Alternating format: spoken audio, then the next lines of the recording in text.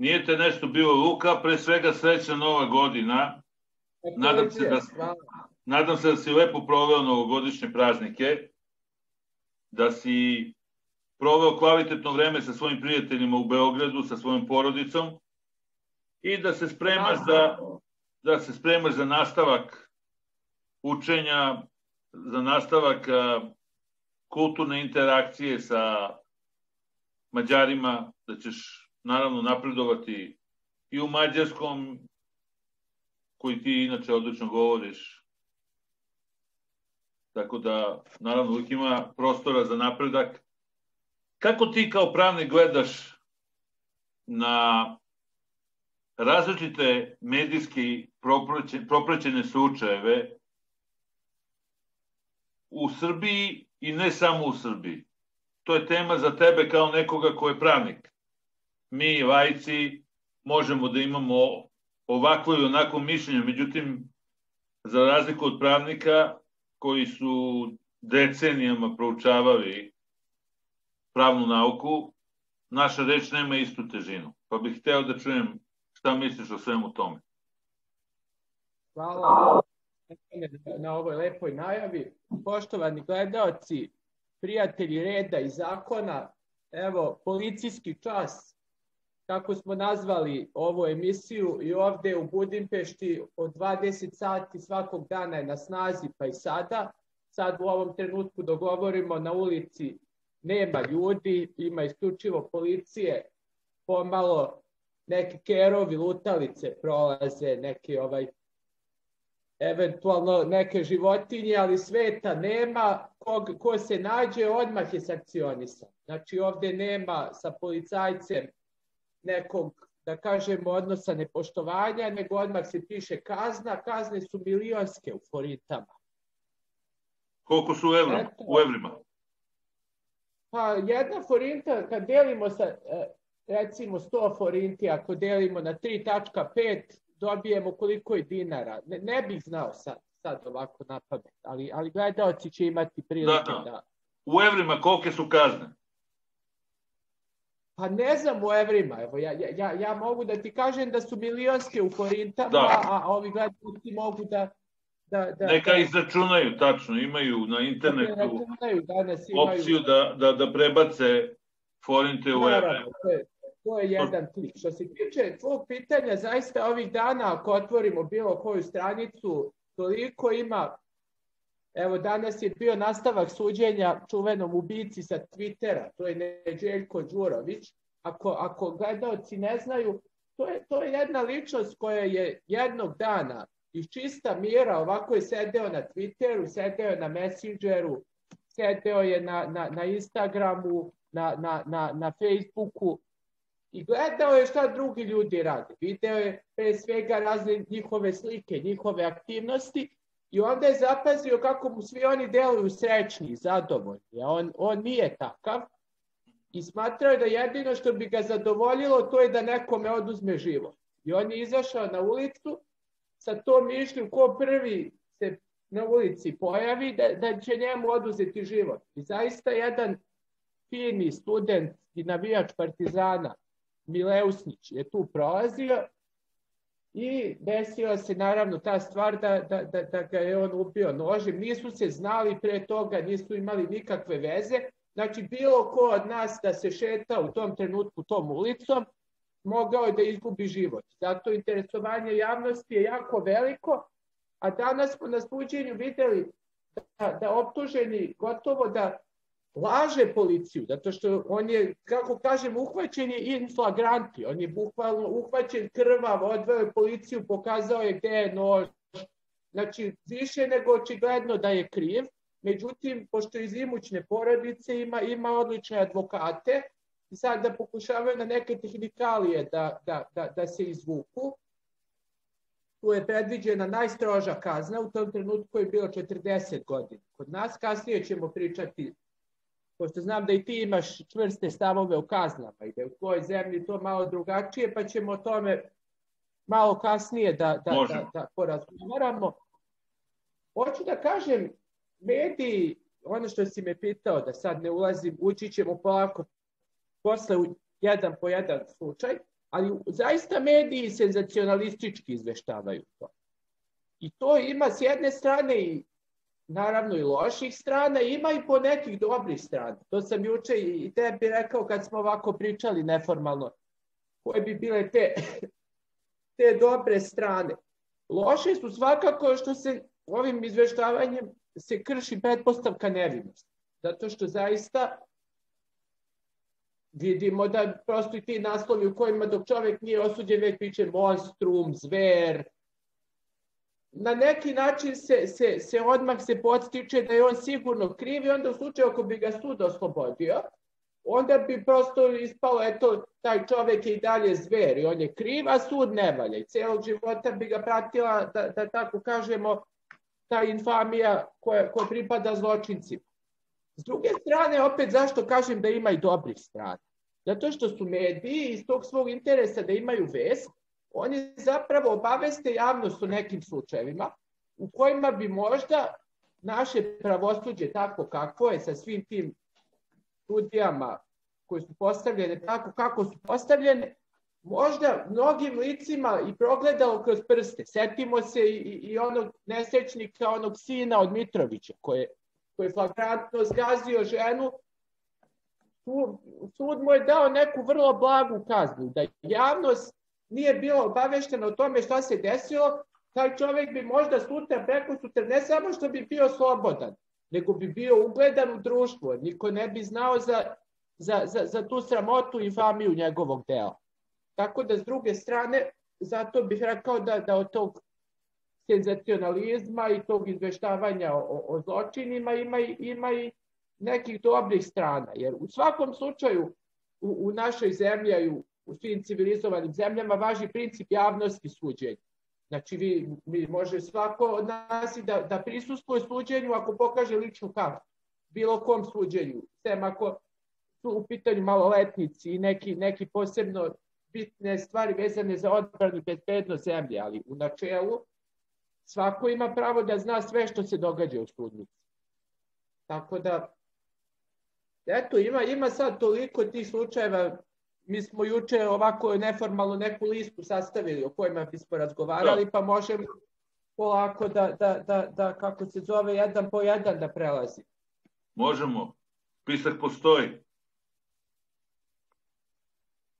Uglavnom, pošto dolazim iz medija, smatram da elektronski štampani mediji moraju odgovorno da izveštavaju o svim dešavanjima, uključujući i sudske procese.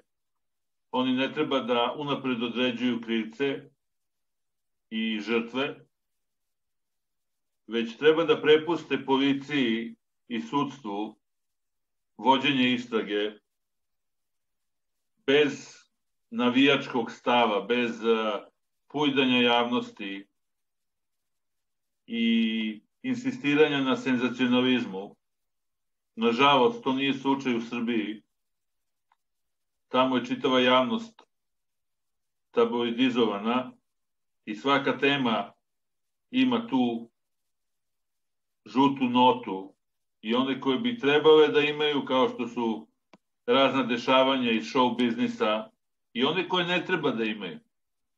Po meni, kao nekome ko radi kao cenzor, jer je to pre i tačnije, tačnija definicija onoga čim se bavim nego reći da sam novinar, nisam novinar, nego sam više cenzor i urednik nego klasičan novinar.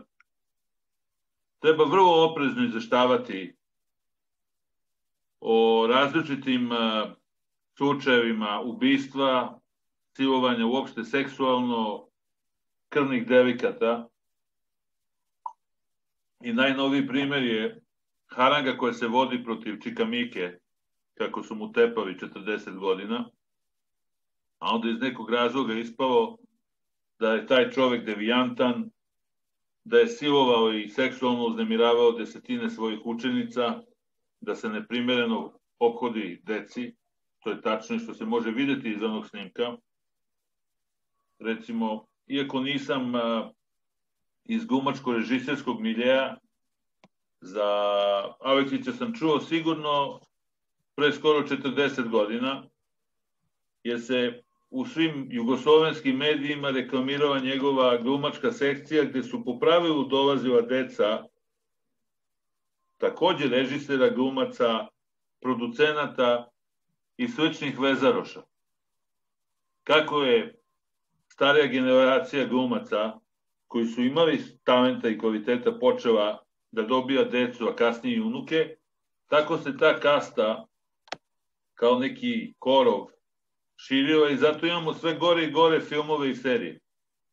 Je ta... To se samo reprodukovala, je tako? Da, da, da, to je kasta. Ali, ali sve gore, gorem i gorem uh, izdanju. Da, tačno. Ne znači da mi nasleđujemo talente naših roditelja. Možda možemo da ih nasledimo, možda ne možemo. Da.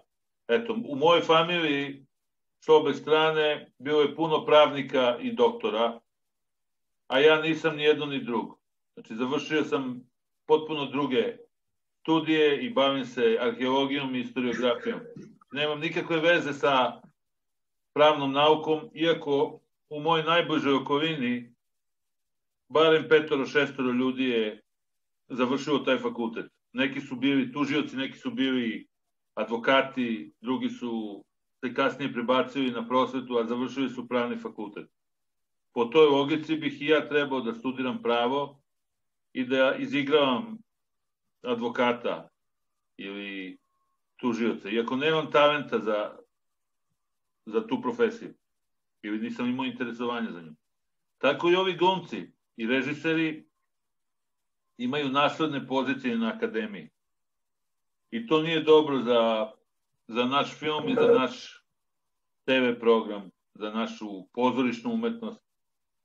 Međutim, to ne znači da neko opravdava nepedagoške metode koje je taj čovek ispoljavao i koje smo mogli da vidimo u emisiji iz 1998. godine koju je uradila Marina Savić, Marina Rajević Savić. To je neprimereno obhođenje prema, prema deci. Apsolutno, to smo sve, sve smo gledali danas, da on, on toj deci govori da su glupi, da su, da su da debeli, ispituje ih, ispituje ih, ispituje ih šta im, šta im otac jede u kući. on se tu ponaša kao isvednik, a ne kao pedagog.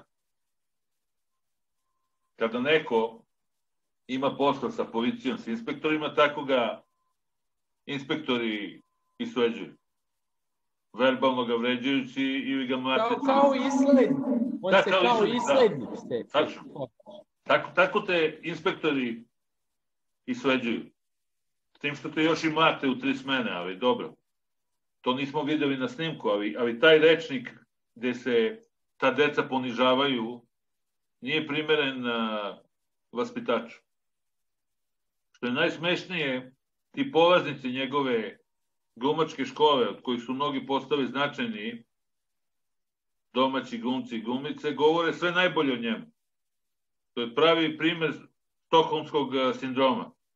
Kako ih eto Čevići naučio ih je da se izbore sa svojim strahovima i slične gluposti. Što znači da, da su i oni isto deo tog patološkog kruga. Patološki. To je patološki krug. Sve to ne znači da je on nekoga silova. Mi to ne znamo. Vidjet ćemo. Neka, to ćemo neka videti. Sutra, da, ne mi. To sutra, tako da je. Budemo dželati pre sudi. Ono, ono što bih ja ovde na ovom mestu, kad smo se dotakli upravo tog Mike, hteo da kažem, da. to je ono što nama možda nedostaje, ono što nam nedostaje, ne, ne samo kod tih, da kažemo, seksualnih delikata, nego kod bilo kojih delikata. To je, nedostaje nam kultura prijavljivanja. Koliko god to sad kad ovako kažem zvučalo i kao neki absurd, ali mi smo na, naučeni kroz kulturu. Ne, ne samo Srbi, nego uopšte i drugi narodi. Yes. Da, da ako neko kaže da je, da je žrtva, ako pozove policiju, ako se žali u sudu, da je on neka vrsta kukavice, da je on sad slabić jer ne može eto sam da se izbori kao, kao u nekom životinskom carstvu, ili recimo ta žena zašto ne pozove recimo oca ili brata ili nekog da oni to reše van pravnim put. Tako postoji neko, neko favorizovanje nekih van pravnih načina rešavanja, nekog zakona džungle koji više i više odgovara nekim životinjama, a, a ako bi se neko obratio sudu ili policiji, onda se kaže, a evo drukara, evo kukavica, slabić. Da. A na kraju krajeva, jedini, jedini organ, kakva god da je sud i policija, znamo da tu nema savršenih ljudi, da ima mnogo onih koji nisu savršeni, ali oni su najbolja odbrana poštenog građana. Jer oni ipak funkcionišu po nekim pravilima koji su tu da zaštite svačija prava. Koji makar na papiru postoje i makar na papiru su poštena i pravilna prema svima. I odista narod mora da nauči da nema nikakve sramote u tome da, da, da pozove pravo u svoju pomoć. Ja to možda ovako kao pravnik kažem. Da, normalno. Ali, normalno, ali mislim da recimo da, da su svi ti zločini prijavljeni odmah. Da je postojala svest da biti žrtva nije sramota, da pozvati policiju nije sramota, da osloniti se na zakon da je, da je u suštini jedna čast, da ne neka, neka ljaga i neki, neki sramni žig, mi bismo imali to da mnoge žrtve potencijalne, ukoliko je, da sad poštujemo pretpostavku nevinosti, ukoliko je rečeni Čika Mika zaista zločinac, da. mnoge žrtve, mnoge žrtve ne bi postale žrtve, ne bi bile viktimizirane ni, ni primarno, a onda i ne bismo mogli da pričamo o toj takozvanoj sekundarnoj viktimizaciji. Hoću da kažem, mnogo, mnogo toga zavisi od, od, od kulture i potrebno je da izgradimo tu kulturu prijavljivanja i kulturu ostavljanja na zakon. No, međutim, ovde imamo jednu bitnu stvar koju treba da naglasim. Kao što je prijava onoga ko je stvarno kriv, na, na neki način čast i dužnost svakog građana. Tako nema veće sramote od lažne prijave. I mi Tačno. takođe moramo da napravimo takav sistem da oni koji bi se usudili da uperu prst na nekoga ko nije kriv, a toga ima takođe, Tačno. i koji toga nanesu neke štete koje poslije nijedan sud, nijedan medij ne može da, da se nekoga ispere. Da, da takva lica Budu kažnjena po zakonu, apsolutno, za klevetu. U svakom slučaju budu kažnjena po zakonu. Da, da. Za klevetu treba da se ide u zatvor nekoliko godina i onda da, će neko, paže. Neko kod neki genije dekriminalizovao klevet. To je, to je ovaj... To je velika greška. Stvarno budalaština. Evo, po, pošto radim u, mediju, u medijima, da je u medijima, ovde je kleveta kriminalizovana. Znači svaka izjava, svaki tekst, svako javno obraćenje u kome se bez dokaza kleveće jedno lice, više lica, institucija podrže krivičnom zakoniku ko iznosi bilo kakve neproverene informacije, on može da, da dobije nekoliko godina robije. Plus novčana kazna koja nije mala. Novčane kazne koje se... Novčane kazne koje se... Da kaže. Izvini što te prekrenem, ne, ne, ne, ako, ne bi, ako, ako ne bi bilo tako, onda, onda društvo više nema potpuno nikakvu odbranu u odnosu na onoga koji ima tako, sredstvo informisanja. Tako je. Jer onda mi ako imamo sredstvo informisanja koje je prisutno na, na, na frekvencijama, koje, koje dopire do velikog broja ljudi, mi možemo da lansiramo bilo kakvu vest. Je, o nekome ili da... Bilo koja defamacija, bilo koja defamacija može da postane presuda za pojedinca, grupu ili instituciju. Što je neka čak veća, veća presuda nego ona koju izrekao sud. Može da bude tako. Recimo, u Americi da postoji kada, kada neki mediji kao CNN, kada upru prst na nekog, on posle niko ni iz kulture sa njim neće da sarađuje, sa njim poslodavci imaju pritisak da mu daju otkaz, banke imaju pritisak, pritisak da mu ugase račune apsolutno dolazi do, do jednog kao, kao onaj ostracizam, kao, kao da. u drevnoj Atini. Što Tako je, je dolazi do ostracizma, tačno. I to je nedopustivo. Jer se onda zaupotrebljavaju institucije i mediji zarad uh, političkih obračuna. No da se vratimo na ovaj skorošnji slučaj u Beogradu, koji će verovatno da traje još nekoliko dana, pa će onda da zabavljaju javnost sa nekom novom aferom. Bar je tako moje iskustvo. Volao bih da se stvari istave na čistac, da se vidi da li je Aleksić uh, seksualno uznemiravao ili ne da Bože silovao te devojke. da je, Tačno. ili bilo kakva... Bilo koga, ne, ne, nema veze da li neko maloletan ili, ili ima 90 godina. Nema veze kog je pola. U kaznenoj politici ima mala razlika, zato što Tako ako je, ako je punoletno lice, kazna ide do 15 godina, a po novim zakonima, ako lice maloletno dolazi u obzir i doživotna kazna. Po, po, po, po novim zakonima koji su kod nas. Tako da je sa te tačke ima, ima relevancije da li, je, da li je lice bilo punoletno ili ne.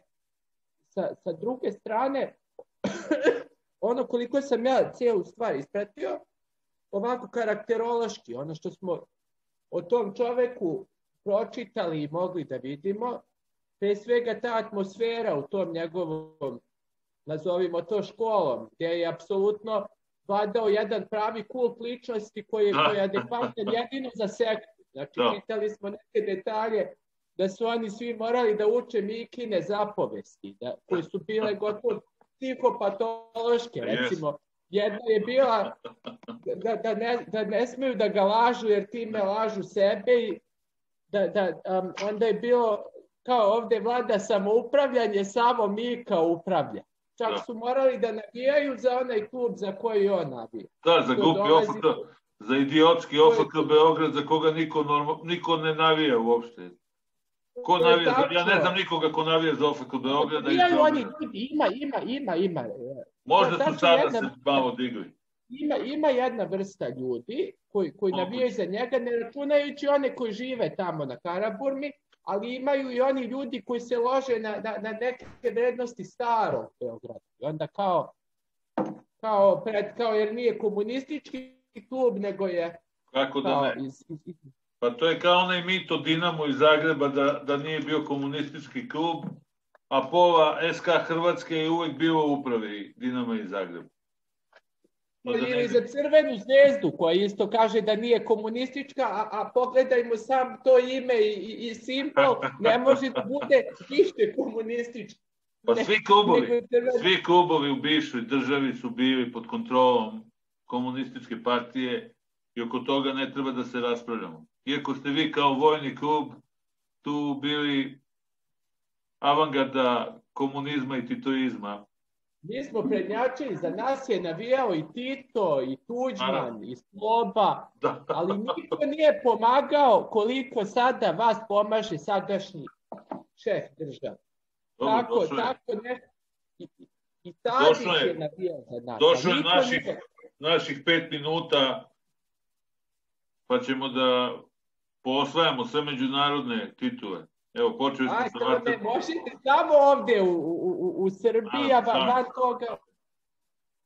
No, pa, očigledno, da, da, da. očigledno je potrebno više novca za to, no da se vratimo na pravne teme. Na Miku, tu smo stali. Da, ja sam, da, ja sam krenuo da, da, da, da neke detalje opisujem do koje sam došao i šta.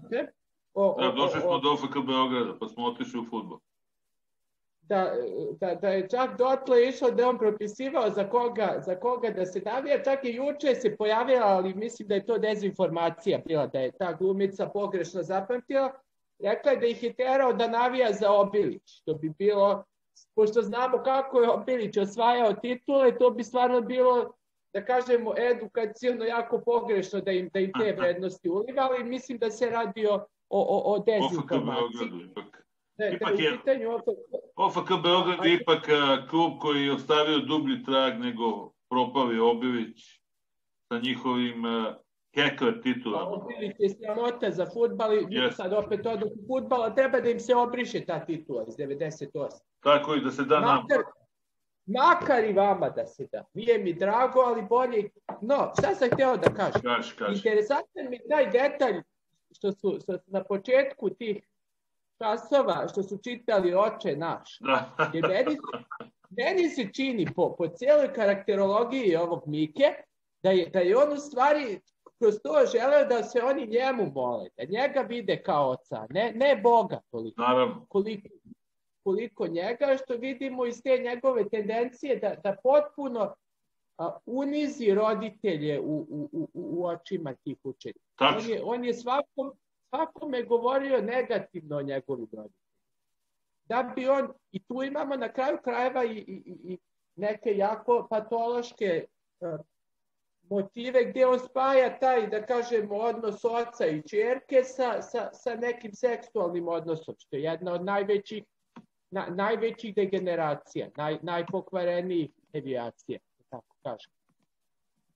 Tako da, zbog svega toga mislim da je, da je u pitanju čovjek koji stvarno ima potencijala da jeste to uradio. Ali naravno, ne možemo... Dokaza, ni, ne možemo ništa tvrditi. Da, I za nas je, znači, on je nevin, dok sud tako, tako drugačije ne kaže. Kao i svako znači, drugo. Ja sam govorim u nekoj hipotetičkoj, a uvek može čovek za koga nikad ne bismo pomislili da, da nešto može da uradi, taj može najgore stvari da uradi. Znači. Samo, samo analiziramo ovako, malo. Kao laik rekao bih da nije važno šta se desilo, nego da li to što se desilo možemo da dokažemo na sudu?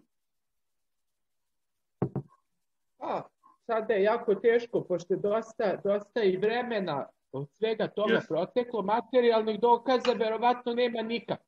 To je sigurno da nema nikak. Znači, to će biti njihova reč protiv njegove reči. Oslanjamo se na to. U toj situaciji sud ceni pre svega, pošto svedok je najnepouzdanije dokaz za sebe. Ne samo, čak, ne samo kad svesno laže, ne samo tako. On čak i kada ne laže, kada misli da govori istinu, u njemu često se nađu neke pogrešne predstave koje um stvori. I, I to je jako čest slučaj, da svedok i koji želi, koji misli da izgovara istinu, ali da govori laž. Jako je teško sada tužilaštvu da to, to zaista dokaže, međutim, ukoliko se poklope priče velikog broja lica i ukoliko se sud ne uveri da ta lica imaju sva razlog za neku, za neku nisku pobudu da čoveka oklevetaju, onda sud može da dođe do zaključka da, da, da, da te optužbe jesu na mestu. Jer ako mi odvojeno saslušamo sedam ili osam ili 12 tih recimo učenica koji su u raznim periodima tih 30 godina sa, sa, sa njime u tu školu dolaze i ako se pronađu stvarno neki obrazci ponašanja koje, koje u svakoj tih odvojenih, i ako se postoje načini da se vidi da li one šteluju priču, znaju, znaju islednici da, da postave takva pitanja da se vidi da li, da li one zaista veruju to što pričaju ili su nameštale priču. Tako da mislim da Mislim da će moći da se dokaže. Ako je kriv, mislim da, da, da, da, da, da postoje načini da se dokaže, pa ćemo da vidimo kazna bi mogla da bude koliko znam do 15 godina, zato što u to vreme kad su dela počinjena nije, nije postojao taj Marijin zakon kao i Tijanin zakon. Tako da, a uvek za gledalce koji ne znaju, kazna može da se samo ona donese koja je bila na snazi u vreme izvršenja zločina. To, to javnost ne zna. Pa onda recimo kaže što niste ovog osudili, ajde sad da uvedemo smrtnu kaznu da obesimo recimo Berberina i onog da. uh, mi, mi, kako se zove, Neđijeka Đurovića. Ne, da. ne znaju da ne može sad to naknadno, sad recimo nešto se desi, pa narod dođe, izgrozi se i kaže e, sad ćemo na smrt. Ne ide to tako. Znači, svako može kaznu da dobije. Zato je recimo Berberin, koji je silovatelj... Malčanski Berberin. Da Malčanski je dobio više nego recimo ubica Tijane Jurić, koji je i silovatelj i ubica. Zato što prosto u vreme kad je počinjeno delo nad Tijanom Jurić, nije postojala doživotna kazna. Znači, on je osuđen kako koji mogu da bude osuđen.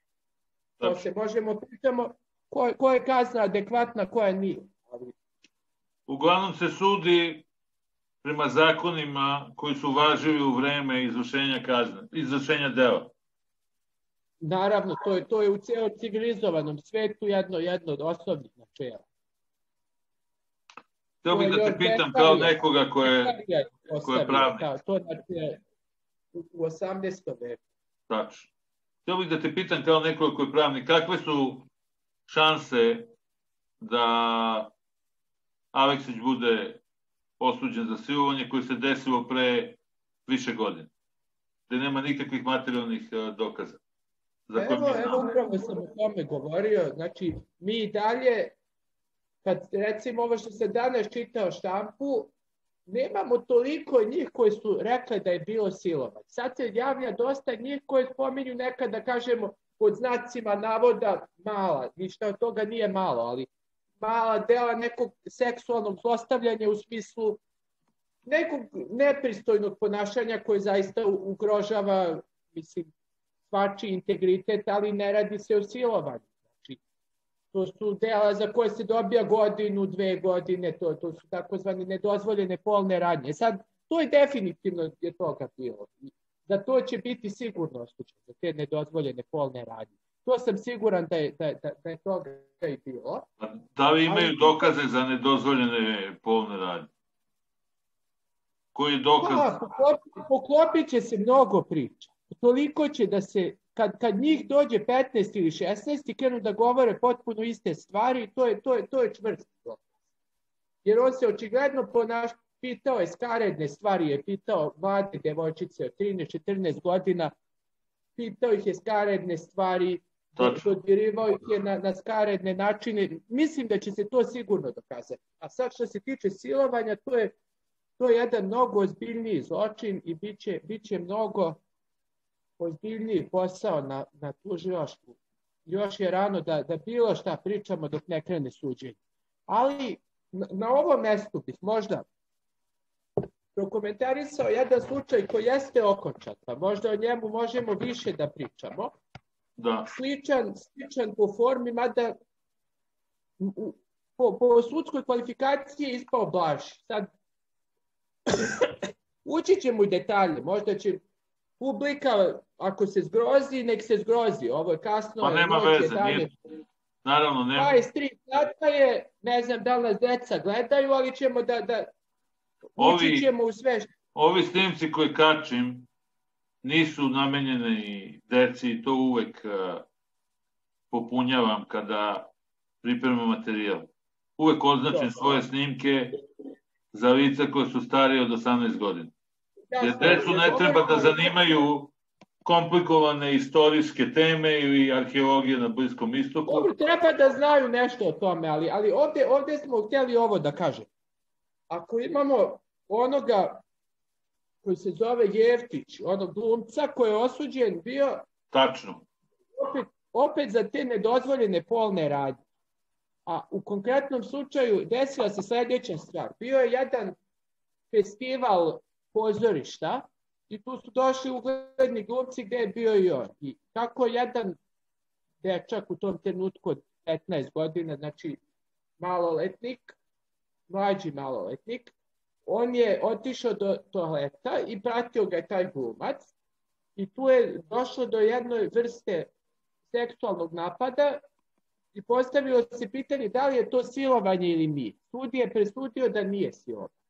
Ja isto mislim da nije, ali da jeste delo nedozvoljenih polnih radnji. Jer evo šta se dogodilo.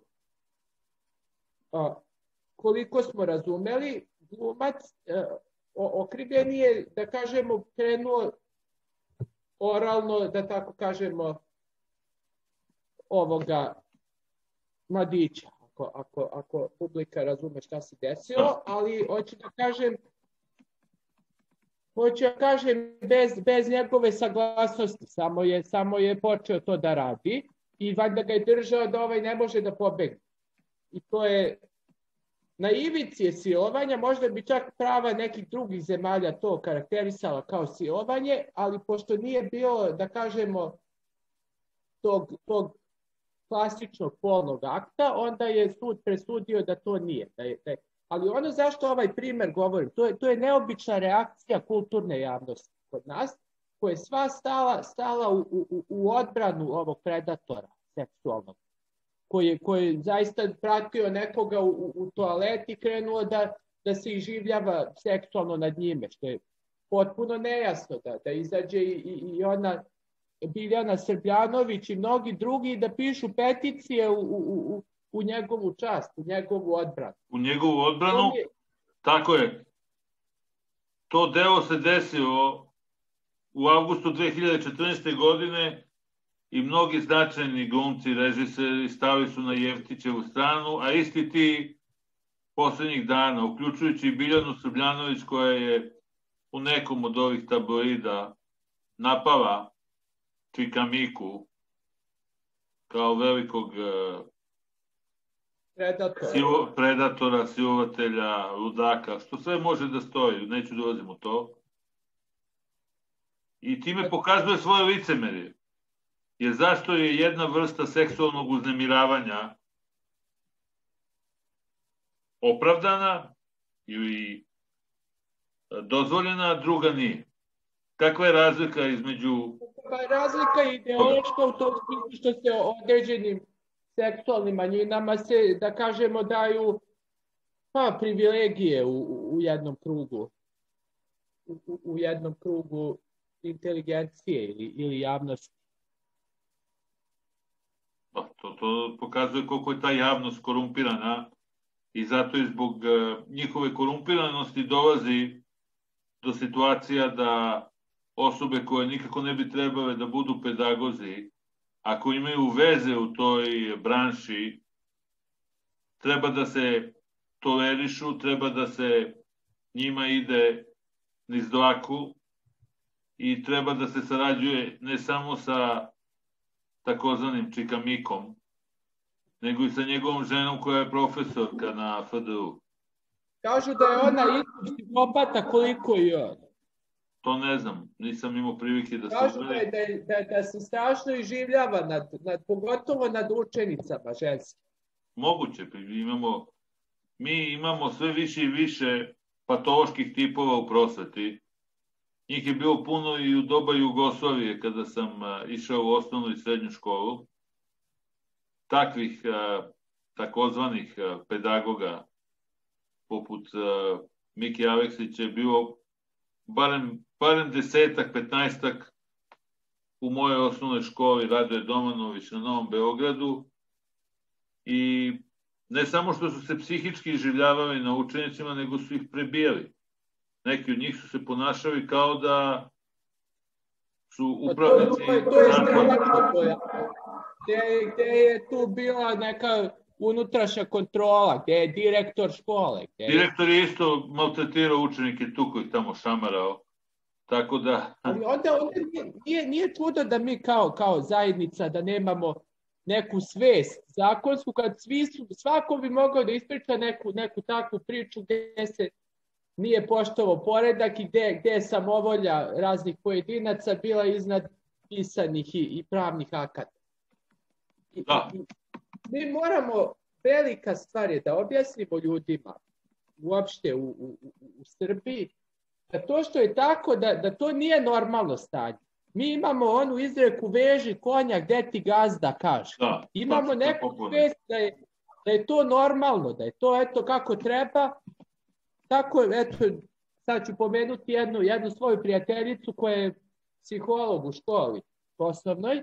Neću, neću reći ime i prezime da, da, da ne bi imala neprijatnosti, ali ona recimo je njoj direktor sve, sve njene poslove davao, sve njegove poslove koje nemaju veze s njenom nadležnošću, on je njoj davao da ona radi. Čak recimo ako se pojave bube, ako se pojave miševi u školi, tako neke stvari koje nemaju veze s njenim poslom, nju su zvali da dođe od kuće da ona rešava. I onda ako se žali da, da to nije njeno nadležnost, da nemaju pravo tako da izrabljuju, oni su je to govorili, veži konja gde ti gazda kaže. I ona je to prihvatila. Nije se, nije se žalila recimo ministru ili nekom višem organu, ne, nego je prosto, eto, ona je sluša onoga ko je iznad nje i, i, i to, to je kaže, vrlo, to je vrlo da, loša vrlo loša politika u društvu i pokazuje da su institucije veoma slabe ili da uopšte ne postoje. nego sve zavisi od toga ko je sa kim dobar, ko je u određenom trenutku društveno ili čak i fizički jači od nekoga i da faktički vlada... Kao u životinskom svetu. Da, kao u životinskom svetu, tačno. Tim što kod životinja postoje, da kažemo, neke prirodne granice koje, koje u suštini agresiju ograničavaju na sam opstanak. Tako znači, je. nema agresije čistog zla. Ako čoveka ima, ima i toga. Ima i agresije radi, radi agresije, radi zla. Tačno.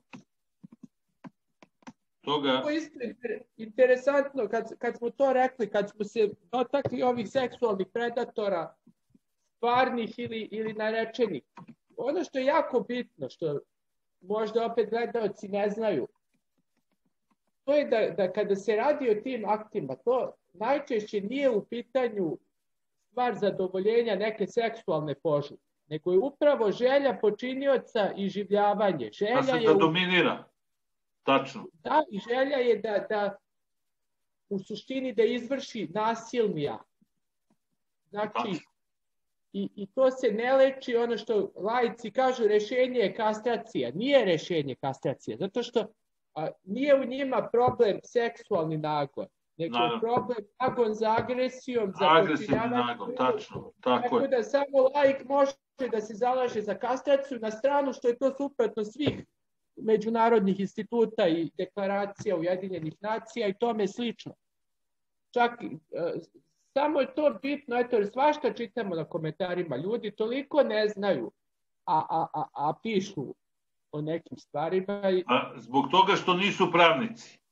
Zato sam se na početku ogradio rekavši da o ovoj tematici treba da se izjasne pravnici, krivičari, specializovana lica a ne lajci. Lajci mogu da imaju mišljenje o zakonu, mogu da imaju mišljenje o medicini, mogu da se raspravljaju sa mnom da li je Stalin bio protiv Tita ili ne, iako svi događaji na terenu potvrđuju da je Tito bio Stalinov izbor još tokom moskovskih procesa, 35. je tako? Pa da. Postavljaju mi pitanja pojedini prijatelji, čak i sada kada razgovaramo, pa sam ih malo ugasio da bismo mogli normalno da pričamo o pravnoj tematici i o slučajima koji potresaju javnost Srbije, a i drugih država. Međutim, ako je Sovjetski savez ušao sa vojskom iz Rumunije u Bugarsku i u Srbiju i pomogu partizanima da uđu u Beograd, naravno da, da je Stalin podržavao Tita i naravno da ga je instalirao. Da je kod Staljina postojala bilo kakva sumnja u Tita, on bi ga likvidirao još 30. godina, ne bi stigao da organizuje ustanak.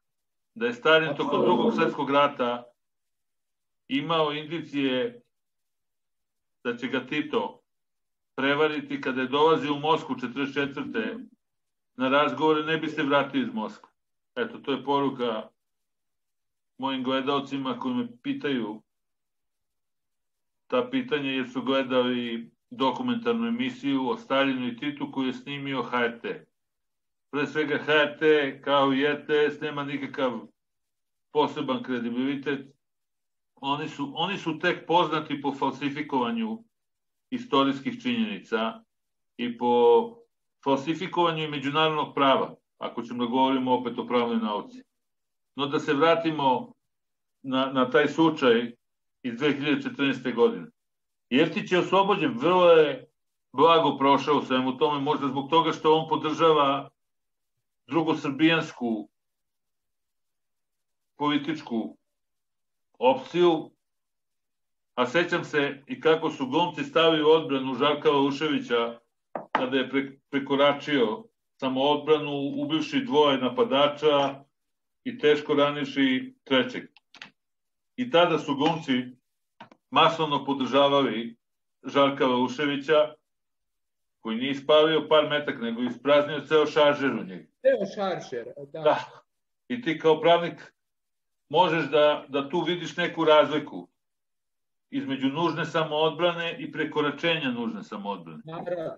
Što glumci, glumci kao lajci, a često nisu samo lajci, nego su i budale, neobrazovane budale, koje sebi daju za pravo da komentarišu sve i svašta, o čemu pojma nemaju, su odmah bez ikakve zadrške stavi na njegovu stranu. Zato što su mislili ili zato što se stvorila takva klima u javnosti da su ga napali nasilnici koji su terorisali celu Podgoricu i da zbog toga eto nije važno što je on prekoračio nužnu samoodbranu. Sa pravne tačke gledišta on je prekoračio nužnu samoodbranu. Ne znam koliko si upućen u taj slučaj. Moram da priznam, pošto je to zaista bilo, da kažemo, pre, pre mog vremena, znam samo ovako neke, neke osnovne podatke. Činjenica jeste da je on u nekom, to, to je interesantno, evo sad ću reći baš zbog čega. U onom pravnom smislu jeste bio kriv, apsolutno. Znači, pred sud, sud je imao pravo, ali, pravo da ga osudi. Ali možda je baš ovo jedan od onih primera kada se pokazuje ispravnost onog instituta predsjedničkog pomilovanja. Mhm. Kada zaista u jednom slučaju slepa pravda, koja, koja prosto samo gleda propis kakav je i, i, i neke činjenice, da li, je, da li je ceo šaržer, da li je prekoračeno, da li ni, kada ta slepa pravda mora da mal, malkice podigne onaj povez oko svojih očiju i da pogleda malo šire od propisa. Da zaista vidi da su to bili zaista ljudi koji su terorisali ceo grad, sa kojima na neki način, ne mogu da kažem da se, da se opravdava ubistvo, ali koje daju neku malo drugačiju drugačiji, drugačiji kontekst. Kontekst, kontekst je drugačiji, da. I to je na kraju krajeva, zbog toga i postoji to, pošto sva pravda dolazi od naroda. To je po našem ustavu tako. Ako, ako se sad tebi sudi, čitati ti se presuda u ime naroda. I upravo zbog toga predsednik, kao da kažemo najdirektniji predstavnik naroda, kao jedini organ koji je, koji je lično izabran, imenom i prezimenom, on ima pravo da, ako vidi da u nekom slučaju između pravde i prava postoji neko malo razmi, razmimoilaženje, on tu može da na neki način da prevagu pravde. I da na neki način, što mislim da je na kraju urađeno, da je, da je Laušević dobio to pomilovanje, što je najbolje rešenje. On ostaje pred zakonom kriv on ima neke posledice toga. Znači nije on sada da kažemo čist kao šta ja znam, nas dvojica ili nek... Znači ima, ima on neke posledice toga, a opet nema možda neke posledice koje bi bile preterane, neku, da, da sad on sedi na robi decenijama za neki slučaj gde, gde objektivno ne bi bilo pravedno da toliko, toliko da se. Ne znam, ne znam koliko sam bio jasan sada, zato što je to puno, puno nekih ideja. To je vrlo komplikovan slučaj i ne bih se izjašnjavao njemu, On je, ako se ne varam, e, odslužio pet ili šest godina i posle toga je otišao u inostranstvo, odigrao je u partiju filmova i onda je otišao u New York dok nije pomilovan. Vrlo, vrlo nesrećna dok situacija. Nije. Da. Da, kaži. Nešto te koči. Nisam, nisam te čuo kažem da on održao više godina zatvora, pet ili šest godina zatvora održao. Posle toga je odigrao nekoliko filmova kao što je Nož i vrat, otišao je u Ameriku da, da, da živi i radi. On je zaklao Murata, tako? To je bilo 89. u, u jeku njegove najveće glumačke slave ali je morao da ide u Ameriku i da tamo radi manualne poslove. Jednostavno... I to da mu se uzme, da mu se uzme kao olakšavajuća okolnost što je, što je zaklao Murat. Pa dobro, to sad možemo i Bati Živojinoviću onda da, da dozvolimo da, da, da je živ da, da čini razna zlodela. Jer je poubio toliko okupatora da je, da je stekao tapiju. Ali... Šalimo se. Naravno, to su vrlo ozbiljne stvari, bez obzira što se mi šalimo, nam je lako se zafrkavamo, jer nismo direktno uh, stradali, nismo zakačeni tim uh, nesrećama. Ne da Bože nikome da, da bude u takvim situacijama. Ono što Da li si teo još nešto pomeneš u vezi Jeftića ili... Ne, ne, toliko imamo da. galeriju da. tih likova smo ostavili za večeras da, da, da, da možemo yes. da... Možemo nastavimo. On je, on je primer, da zaključim, on je primer dvostrukih aršina. Jes, zato smo ga izdvojili. Da. Jes. Pošto je Čikamika podržavao Arkana i terao ih da, da pevaju Bože pravde, onda je on a, automatski osuđen kao predator, a Jeftić, a, a Jeftić je okej. Okay. Sa, sa kraljem ili sa zemljama, to je bitno, bitan je detalj. Da. Verovatno, ne znam, nisam upućen u to. Zato što ako, ako nisam, evo sad si mi to rekao, to, to mi nije bilo poznato za, za, za za to za Arkana, jer to, to zaista ne, ne baca uopšte svetlu tačku na, na, na njega, ako je mogao takvu ličnost da podržava. Arkan je, da, da kaže, Pa, ono, što je, ono što je zanimljivo isto za Aleksića je to što je on tokom 90. godina podržavao stranku srpskog jedinstva i bio je njihov član.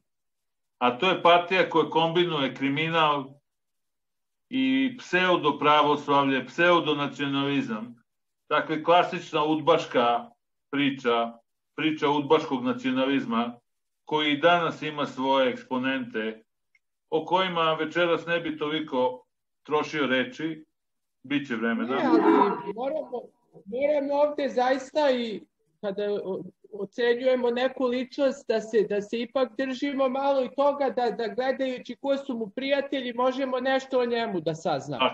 Arkan je primer svega najgoreg što nam se desio 90. godina.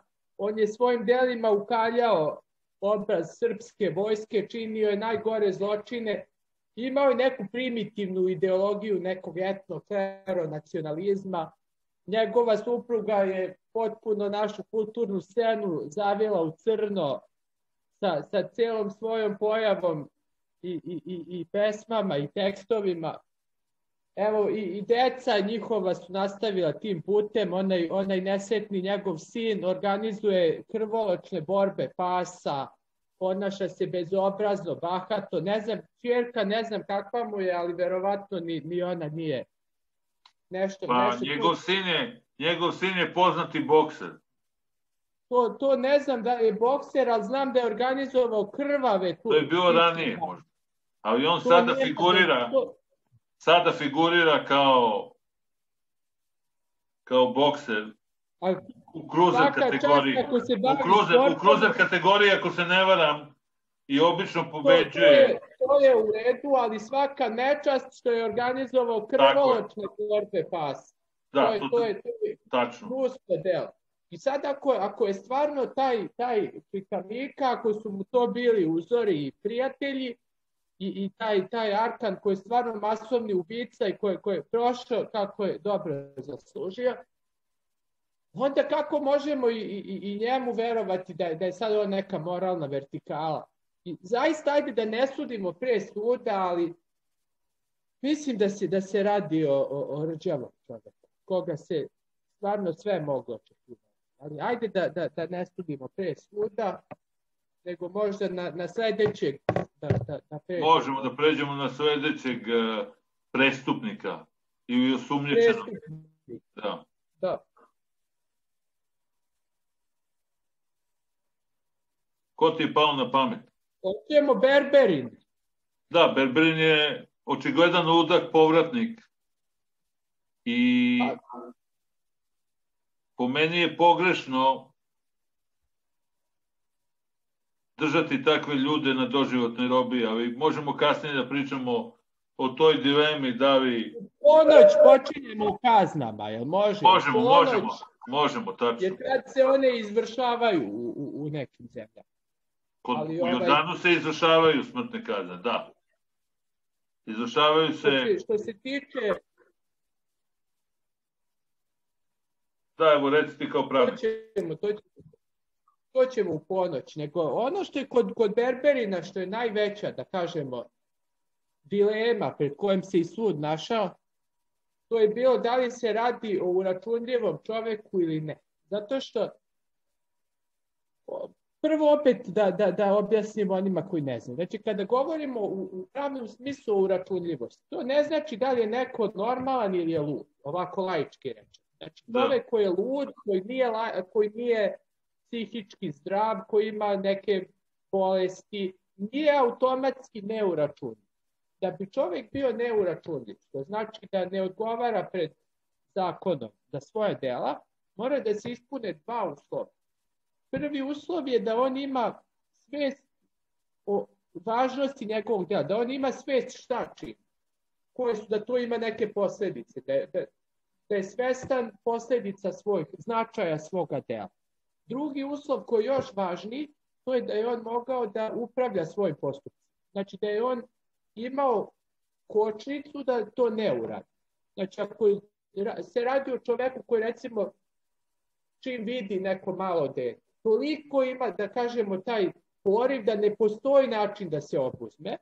Mi tu govorimo, koliko god nas to užasavalo, ali mi tu govorimo o, o čoveku koji nije kriv. Jer on nije mogao da se, da se odupra to.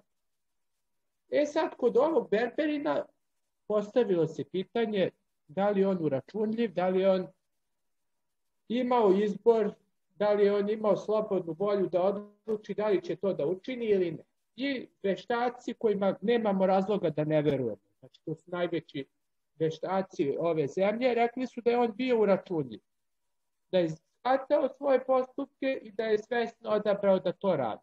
Da je on mogao da obuzda taj nagon, a nije, nije hteo, nego je postupao tako kako je postupao. U tom slučaju on je oglašen je krivim, prvostepeno, vidjet ćemo Sad, ako ode kod Majića na drugo stepenu, tu svašta može da se, da se još desi. Mada neće, pošto on, on spada u apelacijoni sud u Nišu, tako da mislim da ne ide kod Majića, ali možda imaju i oni svog, svog Majića koji, koji, koji oslobađa sve, sve žive.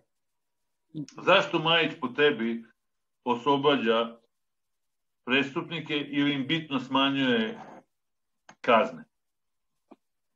Pa, možemo recimo da se, da se uhvatimo ovog možda i njegovog najslavnijeg ili najneslavnijeg slučaja, slučaja kada je oslobodio jedno lice romske nacionalnosti Dobro. koje je bilo okrivljeno za maloletnički prav. To lice od 20 i nešto godina stupilo je u polne odnose i kvazi bračnu zajednicu sa licem od 12 godina.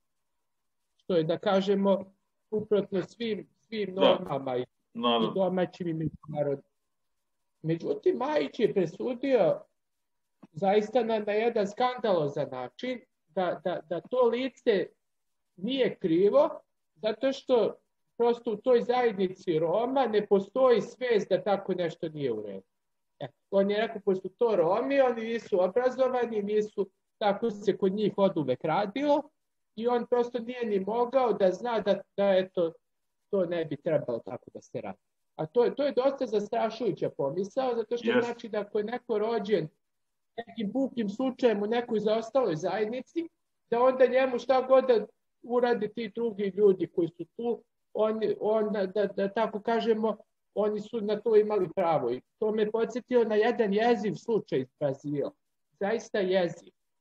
Kada su pripadnici onih amazonskih plemena, onih, onih da kažemo, urođenici drugim da, rečima, kada su oni svoju decu, urođenici su ubijali onu decu koje su mentalno nesposobne za život, ili koji imaju neke fizičke ili mentalne smetnje, zato što prosto nisu htjeli da ih hrane. Smatrali su da od njih nemaju koristi, da, prosto da od uvek od kad postoji njihova zajednica, oni su ih ubijali. I, I onda se postavilo veliko pitanje u Brazilu da li to treba dozvoliti, pošto eto, to je ta kao rođenička kultura, ili treba sprečiti. Naravno, svi koji kao ja veruju da je čovek ima univerzalna prava, bez obzira gde je rođen, Tako je. da li u džungli ili u, u gradu, u dvorcu, svako ima pravo na život, svako ima pravo na lečenje, na slobodu, Na školovanje. I dostojanstvo je i Dostojanstvo. To... da će da dođu kulturni relativisti raznih vrsta pa da kažu da, da je recimo muslimanskoj ženi dostojanstvo da joj se vide samo oči. Nije to I ne samo to, nego je dostojanstvo da je kamenuju rođaci i otac zbog nekog banalnog prekršaja. I strašno je što te, te, te takva, takve ovaj, stavove čak često čujemo od ljudi koji se deklarišu kao progresivci i levičari na zapadu. To je, to je ova, ova nova, da kažemo, autošovinistička zapadna struja koja se grozi svega što je civilizovan evropski čovek stvorio, pa i, i, i ta ljudska prava koja naravno da nisu ograničena na jednu kulturu ili jednu rastu ili jedan Naravno. kontinent, nego, nego su univerzalna svakom čoveku. To što je zbog zbog prosto istorijskog razvoja i tehnološkog, eto Evropa prva došla do toga i prva shvatila da su to univerzalna ljudska prava, to ne znači da su ona samo za evropljane ili samo za hrišćane ili za belce ili kako god, kako god hoćete, nego prosto tako je tim redom je došlo, ali ona su za sve i one su, ona su urođena čoveka, svakom muškom, ženskom, ove ili one rase ili, ili ver. Ali to, to je zaista tema za, za jednu celu emisiju. Mis, mislim da smo i pričali o tome. Nego hteo sam samo, gdje smo stali? Kod, kod Majića. Da, Da, hteo sam samo da, da, da spomenem koliko je, koliko je skaredna eto, ta presuda, gde je posle on napisao knjigu o tome. Samo izmenio imena, ali o tom slučaju interesantno je pročitati. Evo, evo i tebi bi savjetovao ako dođeš do Mislim, ne znam koliko je lako doći do toga u Jordanu, ali ako budeš u prilici... ako je, ako je na internetu, ona je, ona je dostupna. Ona je dostupna ako je na internetu. Na kraju krajeva, jako interesantna knjiga Ostrvo Pelikana. Interesantno je, zanimalo bi me šta, šta bi ti rekao. Tako da, eto, Evo, jedna, jedna preporuka iz... Zaintrigirao da pročitam uh, Ostrvo Pelikana. To je i za gledalce jedna preporuka. Šta god mislili o Majiću, ja, ja prvi ne mislim dobro o njemu, ali interesantno je da ga preporučim.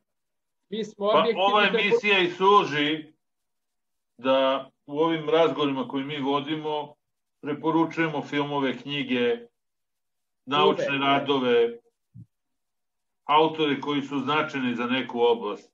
Obično su to istoričari i arheolozi i politikolozi, ali evo ovaj put govorimo o sudiji Majiću koji je objavio knjigu Sudija. Majić je odličan, odličan pisac. Mislim da nije dobar sudija, ali je vrhunski Da, bolje bi bilo da piše nego da sudi. To, to, to je, to je, to je više. Tako ispada da, da je bolji pisac nego, nego sudija. Mi inače imamo veliki problem sa pravosudnim sistemom koji nije od juče, nije od uh, Miloševića, nije od 1990. nego je takav bio i u SFRJ. Kod nas se neki sporovi vuku po 10-15 godina. Kako ti kao neko ko je završio pravo možda jednog Ja dana sam sudu. Jesam Pa ja da. to kako izgleda. Kako gledaš ti na, na, na tu šaradu? Što se vuku dugo, to, to pitanje. Da, da, i što nikako ne dolazi do, do primene zakona, pa ću ti ja navesti obrnute primere iz ove sredine. Ja sam, ja sam video to ovako što u Srbiji još uvek nema uopšte elektorski sistem. To je, to je gotovo neverovatno, nego svi, svi predmeti su u fasciklama, u papirima i onda recimo ako slučajno oni što dole rade u, u, u pisarnici, U arhivi, da. slučajno papirić neki ubaci u pogrešnu kovertu, tu se gubi godinu dana. Dok tri Pa da. roka za ročišta će da se izgubi. To, to, je, to je sve strašno usporeno i ne, nije, ne, ne funkcioniše dobro, a naravno, kažu, opet nisam dovoljno bio u tom sistemu da mogu da potvrdim, ali kažu da ima i namernog. Ne samo namernog odugovlačenja, nego da se namerno ide u zastarelost. To je recimo u slučaju Mitrovićevog, da Sina. kažemo, nesetnika onog majmuna, no, one majmunčine, koja je gazila na pravdi Boga. Devojku, da. Jednu. Yes. Da. I izvuko se on bez problema. Pa pola stvari su mu oterali na, na, na da istekne, ono, da dođe zastareost, a za pola su mu dali neki zakonski minimum, pa neki veštak. Ne znam da li je rekao da, da on u stvari nije vozio brzo. Veštaci su menjali iskaze. Nije to dobro. Koliko god, recimo, politička uloga Željka Mitrovića mogla čak i pozitivno da se oceni, ali, ali to, to mu ne služi na čas. To, to, ovaj, I mislim da, da i on lično, Željko Mitrović, da ova ludila koje on izvodi, ovo što on spasava svet, navodno sa nekim ozoniranjem, što leti po nebu, ne znam koliko si ispratio, što da, tamo ima neke lude. Da. Ja mislim da on osjeća duboku krivicu, što je na kraju pomogao svom sinu da pobegne sa ubistvom i što čak se smatra da je on bio vezivan za, za neke sumnjive smrti ličnosti I da, da prosto te... Njegova ljubavnica je umrla pod, umrla pod sumnjivim okolnostima pre nekoliko godina. To je, to je tačno, zbog toga hoću to da kažem da, da je moguće da je prosto da je on od, od tog osjećaja krivice, da je sad on ima neki kompleks da, će on, da je on spasitelj sveta i smišlja neke smešne stvari. Kogod nešto zna o nauci, može da potvrdi da 90% toga su potpune budalaštine. Naravno da su budalaštine i naravno da, da je njegova čitava biografija veoma sumnjiva, jer je sa 27 ili 28 godina postao vlasnik Pinka, milioner je postao i sve to preko juva i državnih para. Jer je A onda je zabio nož do Julu i SPS-u. Da, jeste. 2000 ali on je postao tajkun već negde 94. 95. godine, ako ne i ranije, jer je tada pokrenuo TV Pink, krajem 94. Tada su išli u nekom eksperimentalnom uh, terminu. Čovjek imao 27 godina, on nije mnogo stariji od mene, ali je ta bitanga ušao u novac još u prvoj polovini 90. godina preko svojih veza sa SPS-om i U-om. Međutim, kako stoje stvari, sad da se malo prebacim na novu digresiju, izgleda da će SNS da uništi SPS, kao što smo pričali svoje vremena. Ona onda jede pomalo, što mislim da je greška, mislim da SNS-u treba SPS, mislim da su oni u odličnoj simbiozi i mislim da ako, ako, ako nestane SPS-a, da, da bi to bio početak kraja ove vlasti koji, koji ne priželjkujem s obzirom da sam ja član stranke koji je koalicijani partner Savez Vojvođanskih mađara i koja je ipak uradila mnoge dobre stvari u ovom mandatu i ima i kod ove vlasti dosta pozitivnih rezultata, ali da, da, nije to danas. Nije to tema. Ne, nije tema i nećemo da pričamo o tim štetočinama, ali da Ko, Savez Vojvođanskih Mađara. Savez, naravno. Neću, neću vređam manjine. Uglavnom, neću ni većinu, ni manjinu da vređam. Uglavnom, vratimo se mi na te slučajeve. Pomenuli smo Malčanskog Berberina, ali nismo pomenuli Jakupeka koji je izvršio dvostruko ubistvo u Novim Banovcima 2007. ako se ne varam. 2010. Da. da, tačno se sećam tog događaja koji je bio bizaran, ali isto tako i veoma tragičan, da je on namamio u svoju kuću svog prijatelja koji je došao sa nečakom i onda ih je u bojicu zaklao, iskasapio i bacio u Dunav. I nažalost, a o tome ćemo kasnije isto da pričamo, radilo se veštačenje, i on se nalazi u zatvorskoj ludnici ili u ludnici, ne znam tačno gde su to kretena smestili. Međutim, ja on mislim je... da je to ludnica COVID, ali nisam siguran. Znam da je bio u istoj sobi sa, sa onim iz Jabuke, što je uzeo pušku i tamo mnogo ljudi poubijao. Tako je, on je u istočnoj Srbiji, čini se što je pobio. Pa je stvarno lud, on je u njima pa video neke ludi, veštice. Kod njih nije normalno. On je, on je neke veštice, neke zle duhove u njima ne, video. Čovek koji ubije dete iz čista mira, iz svog prijatelja, iz kasapih, on nije normalan. Dobro, ali ovde upravo govorimo da, da normalnost i uračunljivost nisu ista stvar. Tako je. Da, on, on je verovatno bio uračunljiviji od, od uh, ubice iz Jabuke. Sigurno. I tu jeste, postoji razlika između uračunljivog... Oni su završili u istoj sobi, kažu da su, da su bili dobri prijatelji u ludnici. Pa, taman su se našli, šteta što, što, što ih nisu obesili obojicu istovremeno. Pa da, da sad ne, ne idemo tako Nećemo. daleko, posjetimo o kaznenoj politici. Ja, ja moram samo zbog publike, ja kažem da se ne slažem sa, tako, sa ovim što je posljednje rečeno. Da, da, da ljudi koji su mentalno oboleli svakako ne treba da, da, da, da, da omaste konopac. Mada ako gledamo samo delo, teško bismo našli bolje kandidata za konopac nego što je taj, taj ja, ja, Jakupek, je, tako zove. Da, Jakupek, tačno.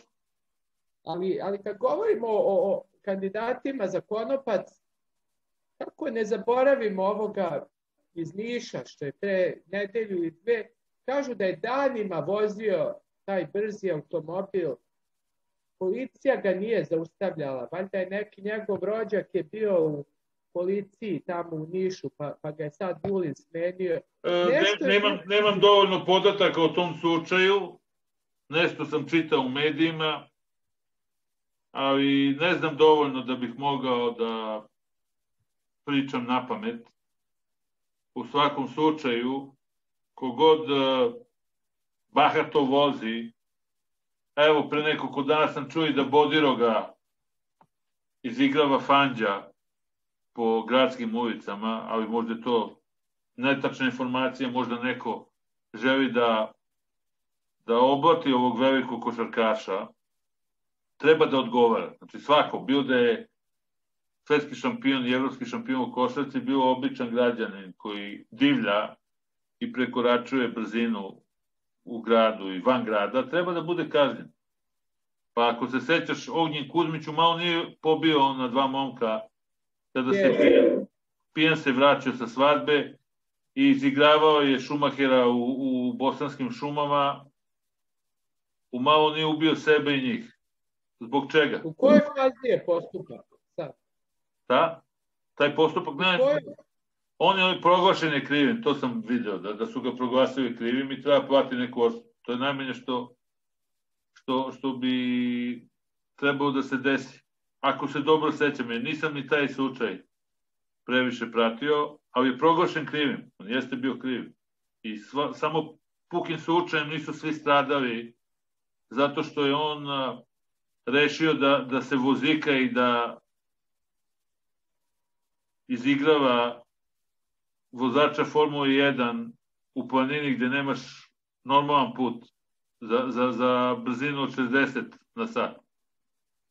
Umesto da je otišao kod tih koji su ga pozvali na svadbu i odspavao do, do 12 popodne, do 1 popodne da se otrezni i da kao čovek vozi. Kako misli da da sve zna najbolje? Pa da, to je to. Da, da, tačno. Da propisi, ne, ne samo saobraćajni propisi, nego svi propisi su tu zato da nas zaštiti. I od tačno. drugih i od sebe. Apsolutno. Nije to, nije to sad, on, opet kažem, to je, to je neka mentalitetska stvar iz možda i od vremena te dugotajne strane vladavine, kurske vladavine, da sad mi gledamo taj propis kao recimo što je car Sulejman napisao da se ne nosi zelena do lama i da se ne pije Ramazan vino. Kao da su to neke besmislene stvari koje neko nama propisao da bi nas ponizio, da tako ljudi gledaju na maske i na policijski čas i na zabrane izlaz, yes. da sve ono što je u stvari tu da nas zaštiti. A ne da bi nas neko, čak i što je mnogo tužno, čak neki predstavnici koji su samo proklamovani građanskih elita, kao recimo na N1, oni koji pričaju po, po ceo dan protiv države i vlasti, oni kažu, u, nas ponižavaju što moramo da poštujemo policijski čas ili što moramo da sedimo u kući. Kaže, Vučić nas je zaključao. Pa nije, nije te on zaključao da, da te gleda u, u, kavezu, nego te zaključao da virus stane i tamo sreće da, da je više zaključava. Evo ovde Orban nas zaključao, ne ljuti se, mislim, evo, ja sam sad zaključan, ali ne, ne osjećam se poniženo da me to Orban sad zaključao što voli da me zaključa, nego Glupost. Poenta je da se, da se, da se zaštiti. Moraju da se poštuju mere u vreme pandemije koja traje više od godinu dana.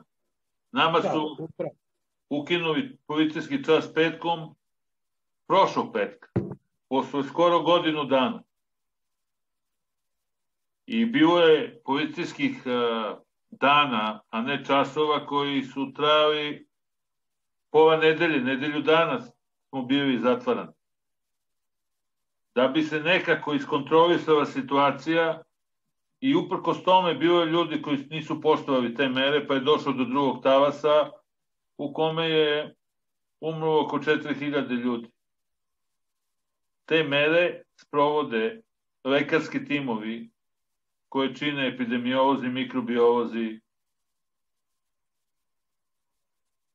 pulmolozi, a sa druge strane imamo programere, politikologe, ekonomiste, taksiste i ko zna koga još koji pokušavaju da svojim argumentima pod navodnicima pariraju stručnim ljudima.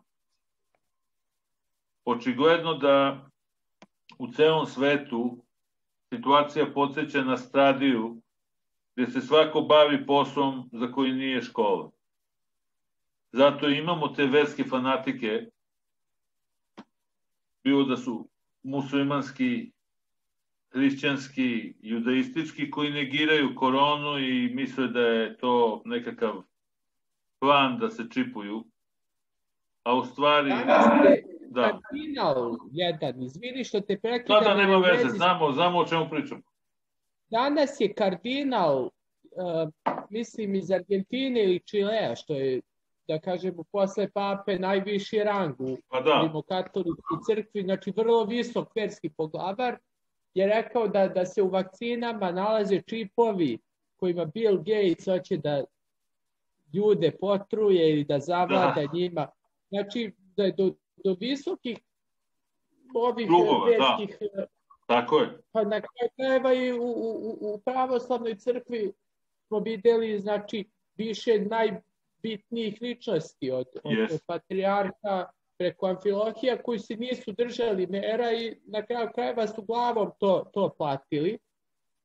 Iako, kao, kao što neko, neko dobro zapazio, nije, nije im smetalo da pre toga za sebe traže bolju negu, bolje, bolje uslove nego što to ima običan građan.